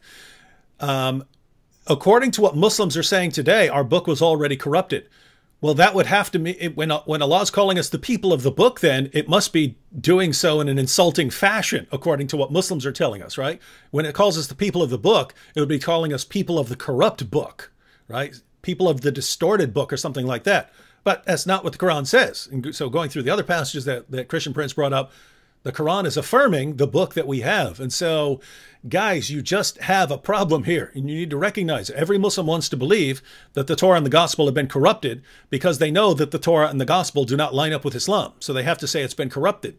But as soon as you say it's been corrupted, you're telling us that you're, you know more than your God because your God didn't know and your prophet didn't know. So you are greater in knowledge than your God. And so maybe you guys should be worshiping yourselves since you know more than your God. You know, uh, uh, David, why the Muslim don't tell us why Allah He wrote the whole Torah to Moses in his hand. The Muslim don't believe in the Ten Commandments alone. Mm-hmm. They believe that Allah He wrote the whole Torah in his hand on tablet, on tablet. Okay, what was the purpose if he will not protect the Torah at least? I mean, why? How many load of trucks uh, Moses he need to carry the whole Torah? Imagine the whole Torah written in, in, in rocks. So Allah wrote it by his hand and then that Allah, you know, he that's it. Everything is gone. Mm-hmm. So the Muslims they have tons of stories. Uh, the, the, whole story is that okay, you cannot, we cannot find uh, Muhammad in your books, so we don't accept your book. As simple as that. Mm-hmm. If we put Muhammad there, if you add now, if you if you print a new Bible, fabricate a new Bible and make Muhammad there, they will Muslims, all of them, they will accept it. Uh, like as an example, there is a very famous uh, Uh, uh, uh, book. The the Muslims the, uh, the, the Gospel of Barnabas. Right. Yeah. Okay. But this this book is stupid. I mean, the, the, you know? yeah, yeah. It's a it's a it's a it's a 13th to 15th century forgery that was written in Italian. I mean, it's written. It's written. Not only that, this book yeah. is saying that Muhammad himself is Jesus himself. Muhammad mm-hmm. himself is the Messiah. So yeah. the Muslim they speak big mouth about it, but then nobody read it. But just because the name of Muhammad is there, supposedly they like it and they promote it and they made article about it. But none of them will accept it because they are hypocrite. Mm-hmm. If you accept the book, okay, I challenge you to publish it and accept it as this is the true Bible for mm-hmm. the Muslims. Mm-hmm. But they will not do that because they knew it's a fabrication. And this is the sign of the hypocrisy when somebody says to you, I like to eat shish kebab, but I will never order it. Mm-hmm. You know, mm-hmm. he will never order it, but he like to eat it. So how come you like this book, but you will never order it to be your book in the library to teach your children? Mm-hmm. Mm? Because yep. he's a hypocrite. Yep. Um, all right, so we've got about we'll uh, we we want to cut off by ten o'clock, so we got about twenty minutes left. Uh, here's a good uh, question from the apostate prophet. You know the apostate prophet, Christian Prince? Yes. Yes. The apostate prophet says, "Could it be?" So he's going back to the crucifixion of Jesus. Um, actually, he probably posted it back when we were. I'm way behind on comments. I'm only like halfway scrolled through the comments. Um, but he said, so this is probably when we were talking about the crucifixion earlier. He said, could it be that Islam's assertion that Jesus didn't die is a poor appeasement of local Christian heretics that believed in something similar, e.g., only his body died. Greetings and respect to you both. So, uh, just so just so everyone knows, um, there were certain heretical Christian groups who had uh, different beliefs about Jesus um, that uh, that he didn't really have a body, um, things like that. So, do you think this could be Muhammad being influenced by or trying to appease some local heretical Christians in Surah 4, verse 157? Yeah, there is there is some uh, some books is rejected where he's speaking that the Messiah, for he is a son of God, there is no way the Father will let him be tortured. So uh, uh, it most likely this one was on the cross. God he made uh, uh, the body of a person who looked like Jesus, but this is not Jesus. And obviously, Muhammad, he carry on with that uh, uh, uh, fallacy. So it's possible, but we cannot really confirm 100%. But there is people who they believe that Jesus, because he's son of God, well, there's no way that God, his father, they will let him be tortured. And actually, once a Muslim, uh, an Egyptian Muslim, he said to me, well, you know what? If Jesus is the son of God, then his father will be save him. I said, okay, well, if this is your logic, that's good. Because that means Jesus, son of God in Islam. He said, how? He said, you just told me if Jesus son of God, his father will save him. He said, yeah. I said, okay. Didn't Allah save him in Islam? mm-hmm. So, yeah, uh, uh, Muhammad, obviously, he have nothing of his own pocket. Nothing about Christianity. Nothing about Judaism. He is a person who copy, but he have a bad ears. To the point even he cannot pronounce names correctly. So Amram became Umran. Uh, uh, you know, all the names he got them wrong. Uh, so Muhammad, he cannot be a person who is making things as much he is copying, especially when it's come to Christianity and Judaism, and even the stories of like as an example, you, you know the chapter in 18 is speaking about the seven sleepers, but this is a story written hundreds of years before Muhammad, and it's a fictional story. Yep. So how Muhammad put it in the Quran? Because simply he's trying to bring stories which is interesting to his book to make himself a prophet who knows. And if you read the, the chapter, you will die laughing. You know, the, the verses says some they say they are four and their dog is number five. Some they say they are five and their dog is number six. Some they say they etc. I mean, this is silly. This, this is not God talking. Just tell us the number and that's it. Still, until now, we do not know what the number. So Muhammad is a person. He was under pressure. People they ask him, they challenge him, especially the Jews. He, because this is why he hate them. You know, when the mm-hmm. Jews say they came to him and they said to him, "Tell us about Zulqarnain." It was a trap. They are not coming to ask him. They are making fun of him. And Muhammad, he got the get the bait. He was a fool. So he started telling them what is the first meal for going to heaven. In the heaven, it is the liver of the whale, and how the baby will be, how how the, how the how the child will resemble the parents. If the father have orgasm first, the baby will be a male. Mm-hmm. If the women have orgasm, the baby will be a female, which is stupid too. And then he to talk about Alexander the Great. So Muhammad he hated the Jews for always getting him busted without him knowing but it was too late. That's it. He made verses, he gave it, and people are laughing. Mm-hmm. And Muhammad, he wanted to seek revenge because they got him busted. Yeah, and guys, that that's basically the the history of Islam. Um, the people who could actually understand and who knew why the things that Muhammad could be. Keep, keep in mind, you could go up to someone who doesn't know anything and say anything you want, and that person won't be able to respond. But if you go to people who actually uh, know something, then if you say something stupid they're going to call you they're going to call you stupid and so muhammad kept doing this and people kept pointing out how he's wrong and he doesn't know what he's talking about and they suddenly become his enemies but eventually eventually once muhammad has a big enough army then no one's allowed to say anything no one's allowed to say anything critical of Muhammad's teachings. And so that's what you have in the Muslim world is it eventually became the position that you're not allowed to criticize or question the things that Muhammad said, no matter how silly and ridiculous they are.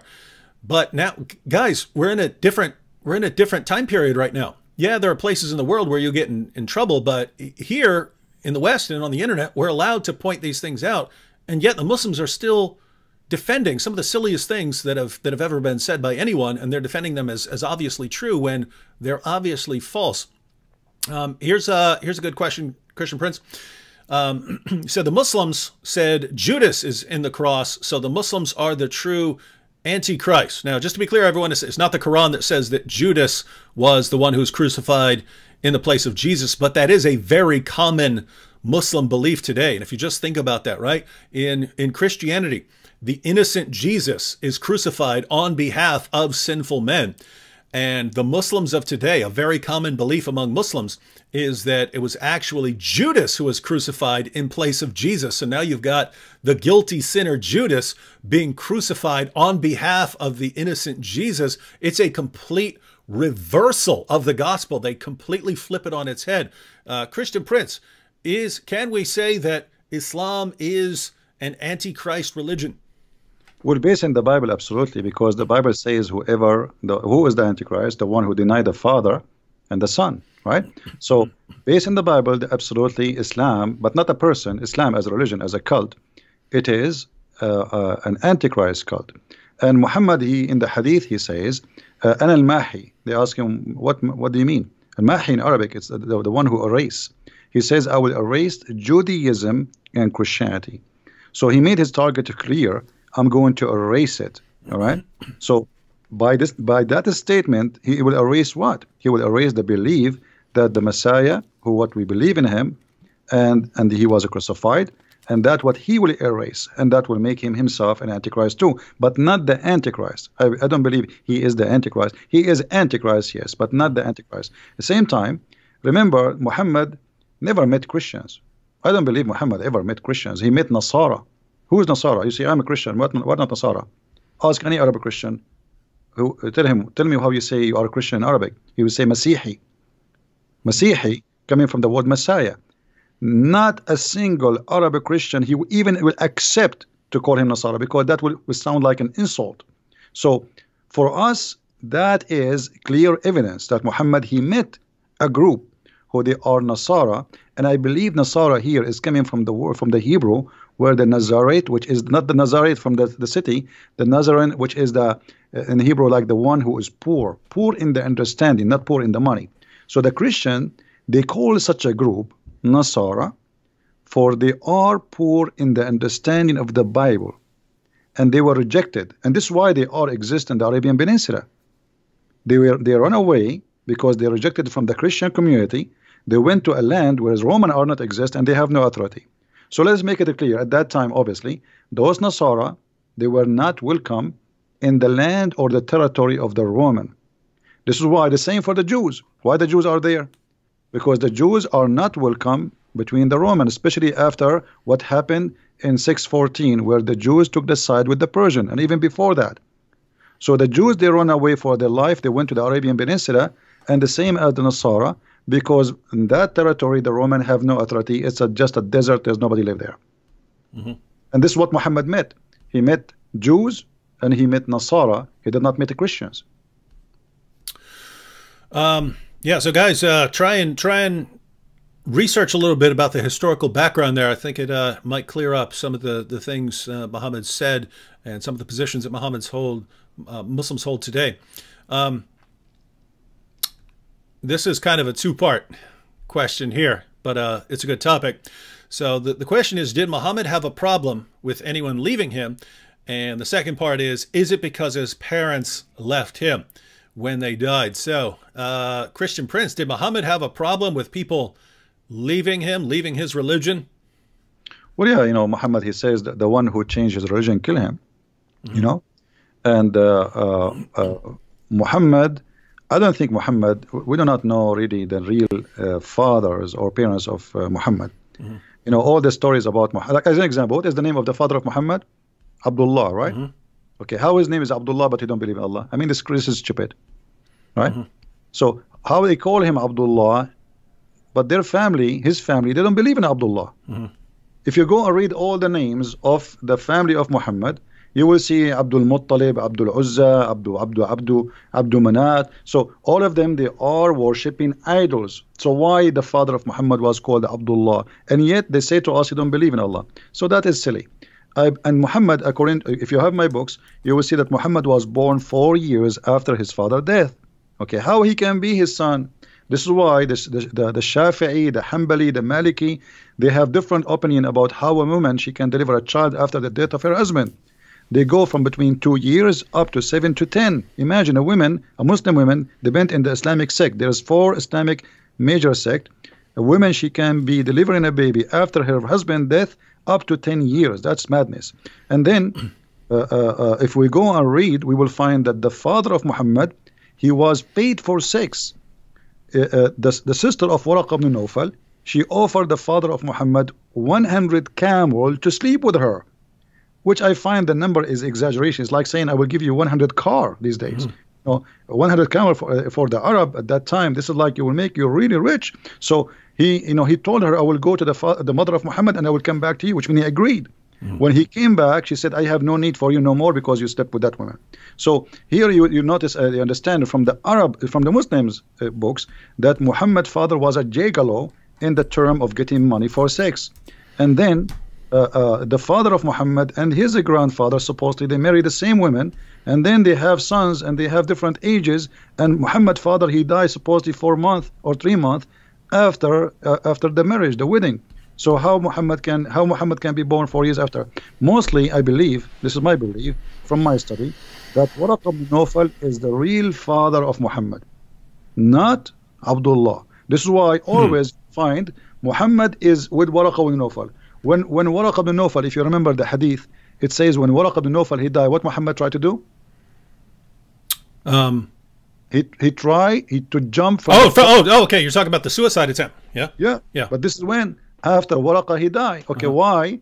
Uh, why when Waraqa died, Muhammad he became so desperate? Mm. What happened? Because he have a special relationship with him. When Muhammad was lost as a child, where they found him with Waraqa.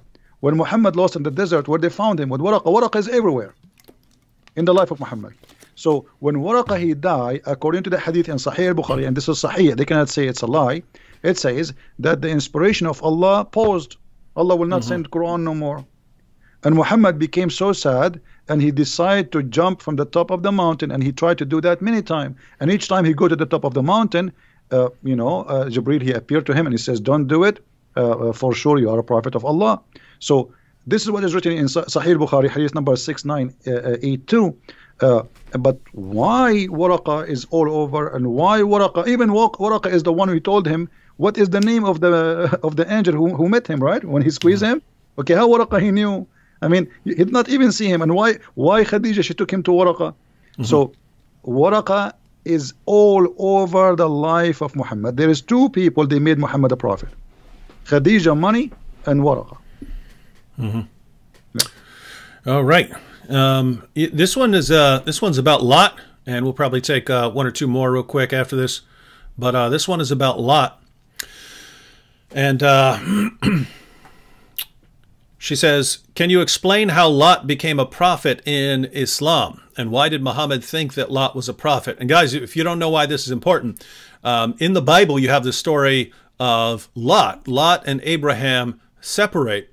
And Lot, after the, the fall of, of Sodom and Gomorrah, um, his daughters apparently think that they're the last people on earth, and so they want to uh, they want to start the human population up again and again, and so they know that her their dad won't sleep with them, so they get him drunk, they sleep with him, and then come out of that relationship some of the enemies of the Jews, the Ammonites and the the Moabites.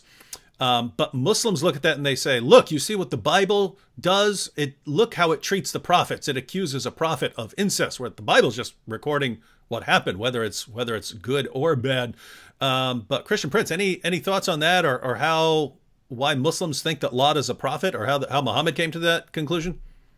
uh, you know, uh, Muhammad, as we said, he is just a, a person who copy. He learned from people around him, and mostly is getting wrong information. And mostly, I think the, the the Jews they were feeding him wrong information on purpose. You know, I don't believe it was happening like this because it's too much to believe that Muhammad was really. I mean, uh, Muhammad, you see, he he he, he always uh, look at the Jews as people of the book because they know, you know, they are people who have knowledge. So he saw in them teachers, but the Jews, because he came to them claiming to be a prophet, Muhammad did not come to them just to live. He came to them after supposedly he ran away from Mecca. So now they knew that this guy he claimed to be a prophet, prophet from supposedly Allah. So the Jews they feeded him false information just to make fun of him. And Muhammad he got the bait. Always Muhammad he is a victim of the Jews.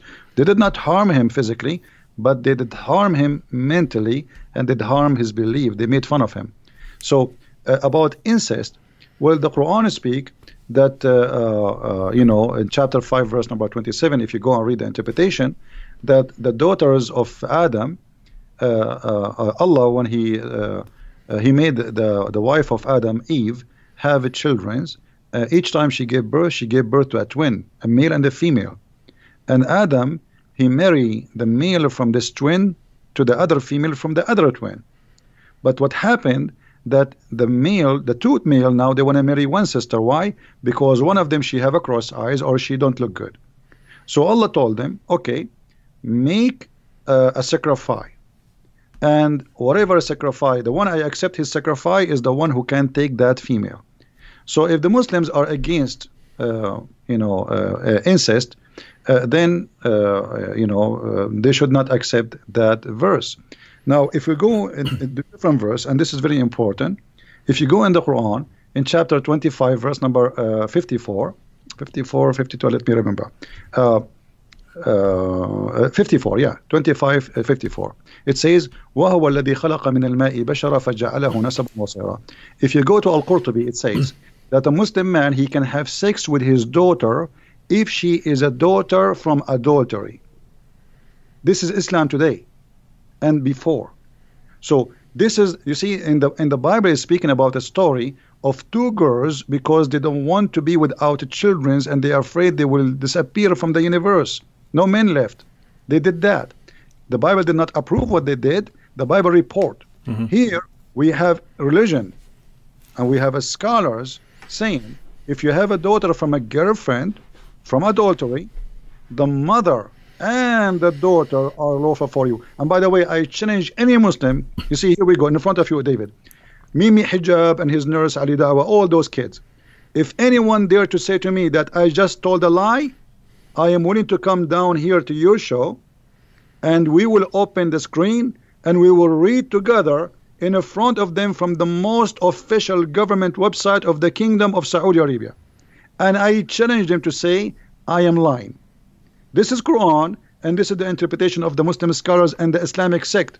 And not only that, they say it is the according to the most accurate of scholars in the religion that because she is not his daughter from marriage, she is not forbidden for him to have sex with the daughter and her mother.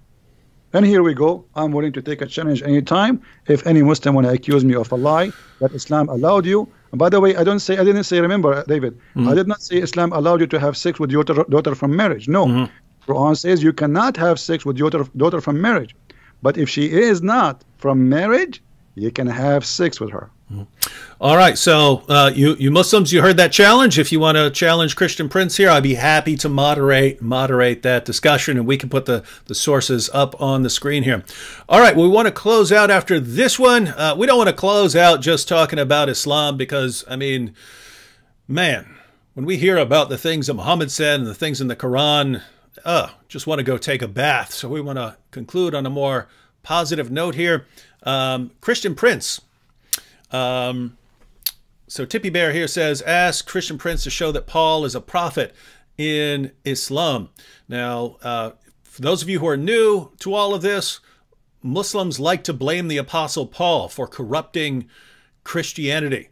And there's a reason for that, right? They didn't just say, oh, Paul is an especially evil dude one day or something like that. It's basically they're forced into it, right? Because they know that their book affirms uh, that, that, that Jesus spoke the truth and that Jesus' original followers were devout Muslims. And yet they know that Christianity doesn't teach is what Islam taught. Christianity teaches that Jesus is the divine son who died on the cross for sins and rose from the dead. So they have to blame someone for corrupting Christianity.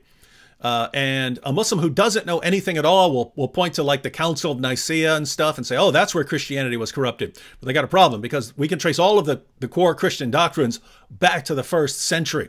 And so we know that these doctrines were there in the first century. If the doctrines were there in the first century, then as a Muslim, if you want to say that Christianity was corrupted, you have to say that Christianity was corrupted in the first century.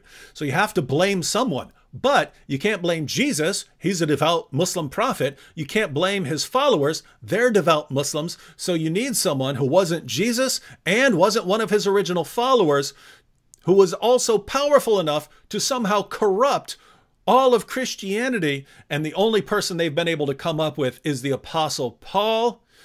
And so Muslims today love to blame the Apostle Paul. And they, if you listen to what Muslims say, they make him more sound more powerful than Allah with the way this guy comes in there and corrupts it. Because Allah in the Quran saying things like um, he's going to protect Jesus' followers until the day of resurrection. Uh, so th that's those are the kinds of things that are being said in the Quran. And yet, Muslims want to say that Paul came in there and just corrupted it, and too bad for Allah, too bad for all the work that Jesus had done. He flipped it on its head. But if I understand correctly, Christian Prince, that was not the position of Muslims centuries ago. Is that correct? Well, you know, this is a challenge for the Muslims. It looked like the Muslims, Zakir Naik, uh, Brother I told you that the one who collapsed the Bible, it is named Paul. And Paul, he is the one who fabricated the Bible. Now, okay, Zakir Naik, can you show us reference where Paul, he corrupted the Bible? They, they, they did that. Can you show us the reference where it says that Paul is the one who corrupted the Bible? So Muslims, they are copy paste people. They don't have any knowledge I am saying to you Muslims, look like you are a lot smarter than your prophet because your prophet, he have no idea about Paul. He never said such a thing.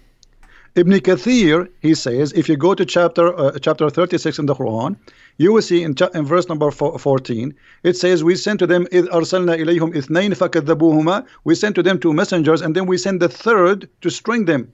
If you go to Ibn Kathir, you will see Ibn Kathir, not the Christian prince, saying that the third is Paul. Mm-hmm. So Ibn Kathir, he must be a Christian. He must be working for us. Maybe we paid him. look like Zakir Naik and Deedat are smart and Ibn Kathir is a donkey.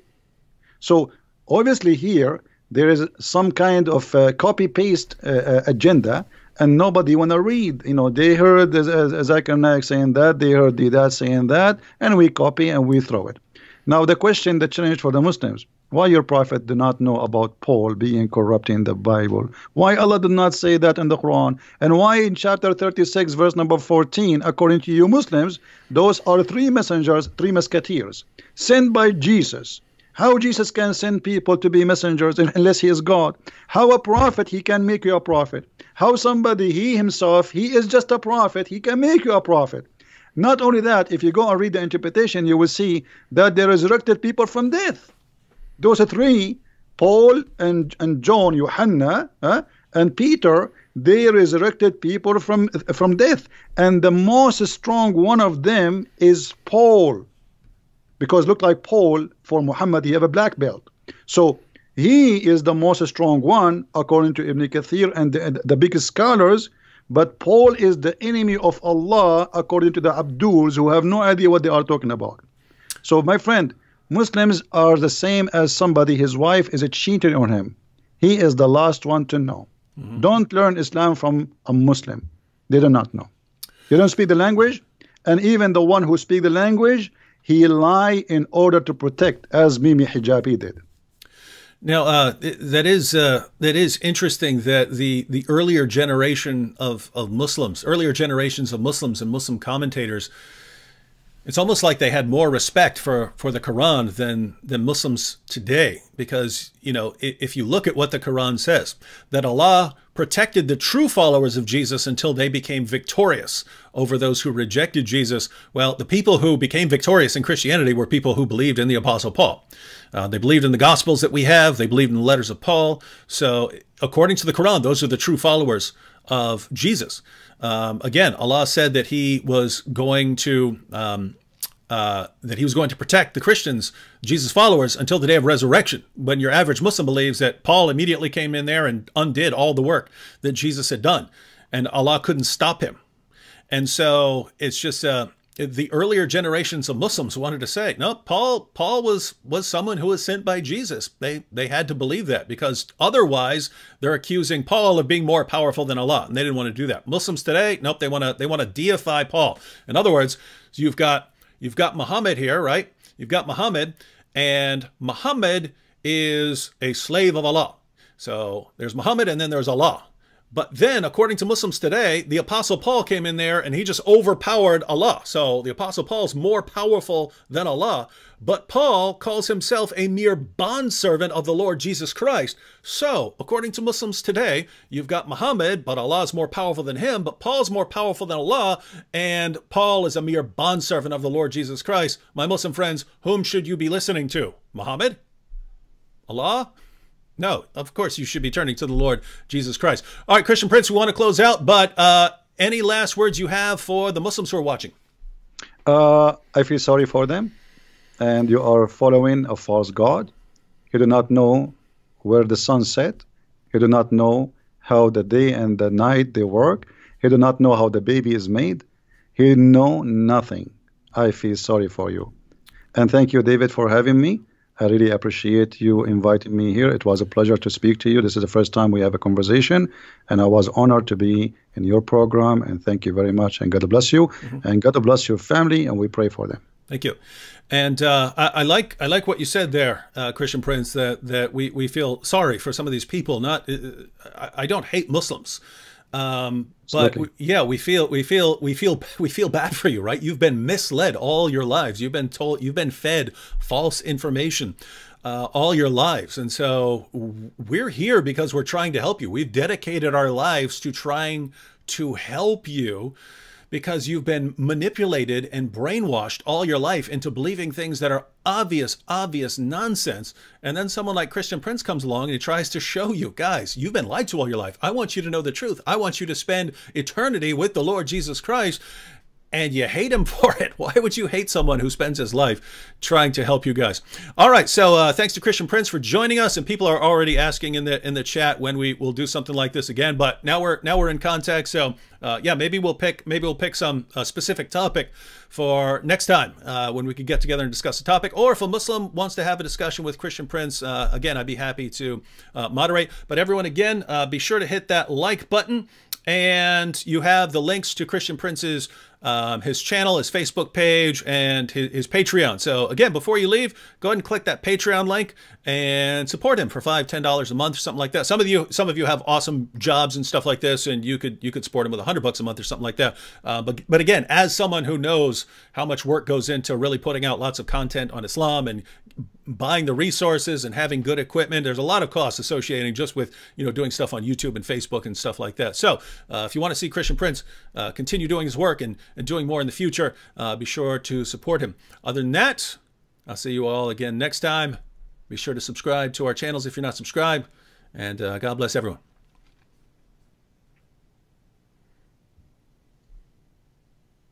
Thank you, David. Take care. Good night. Oh, yeah.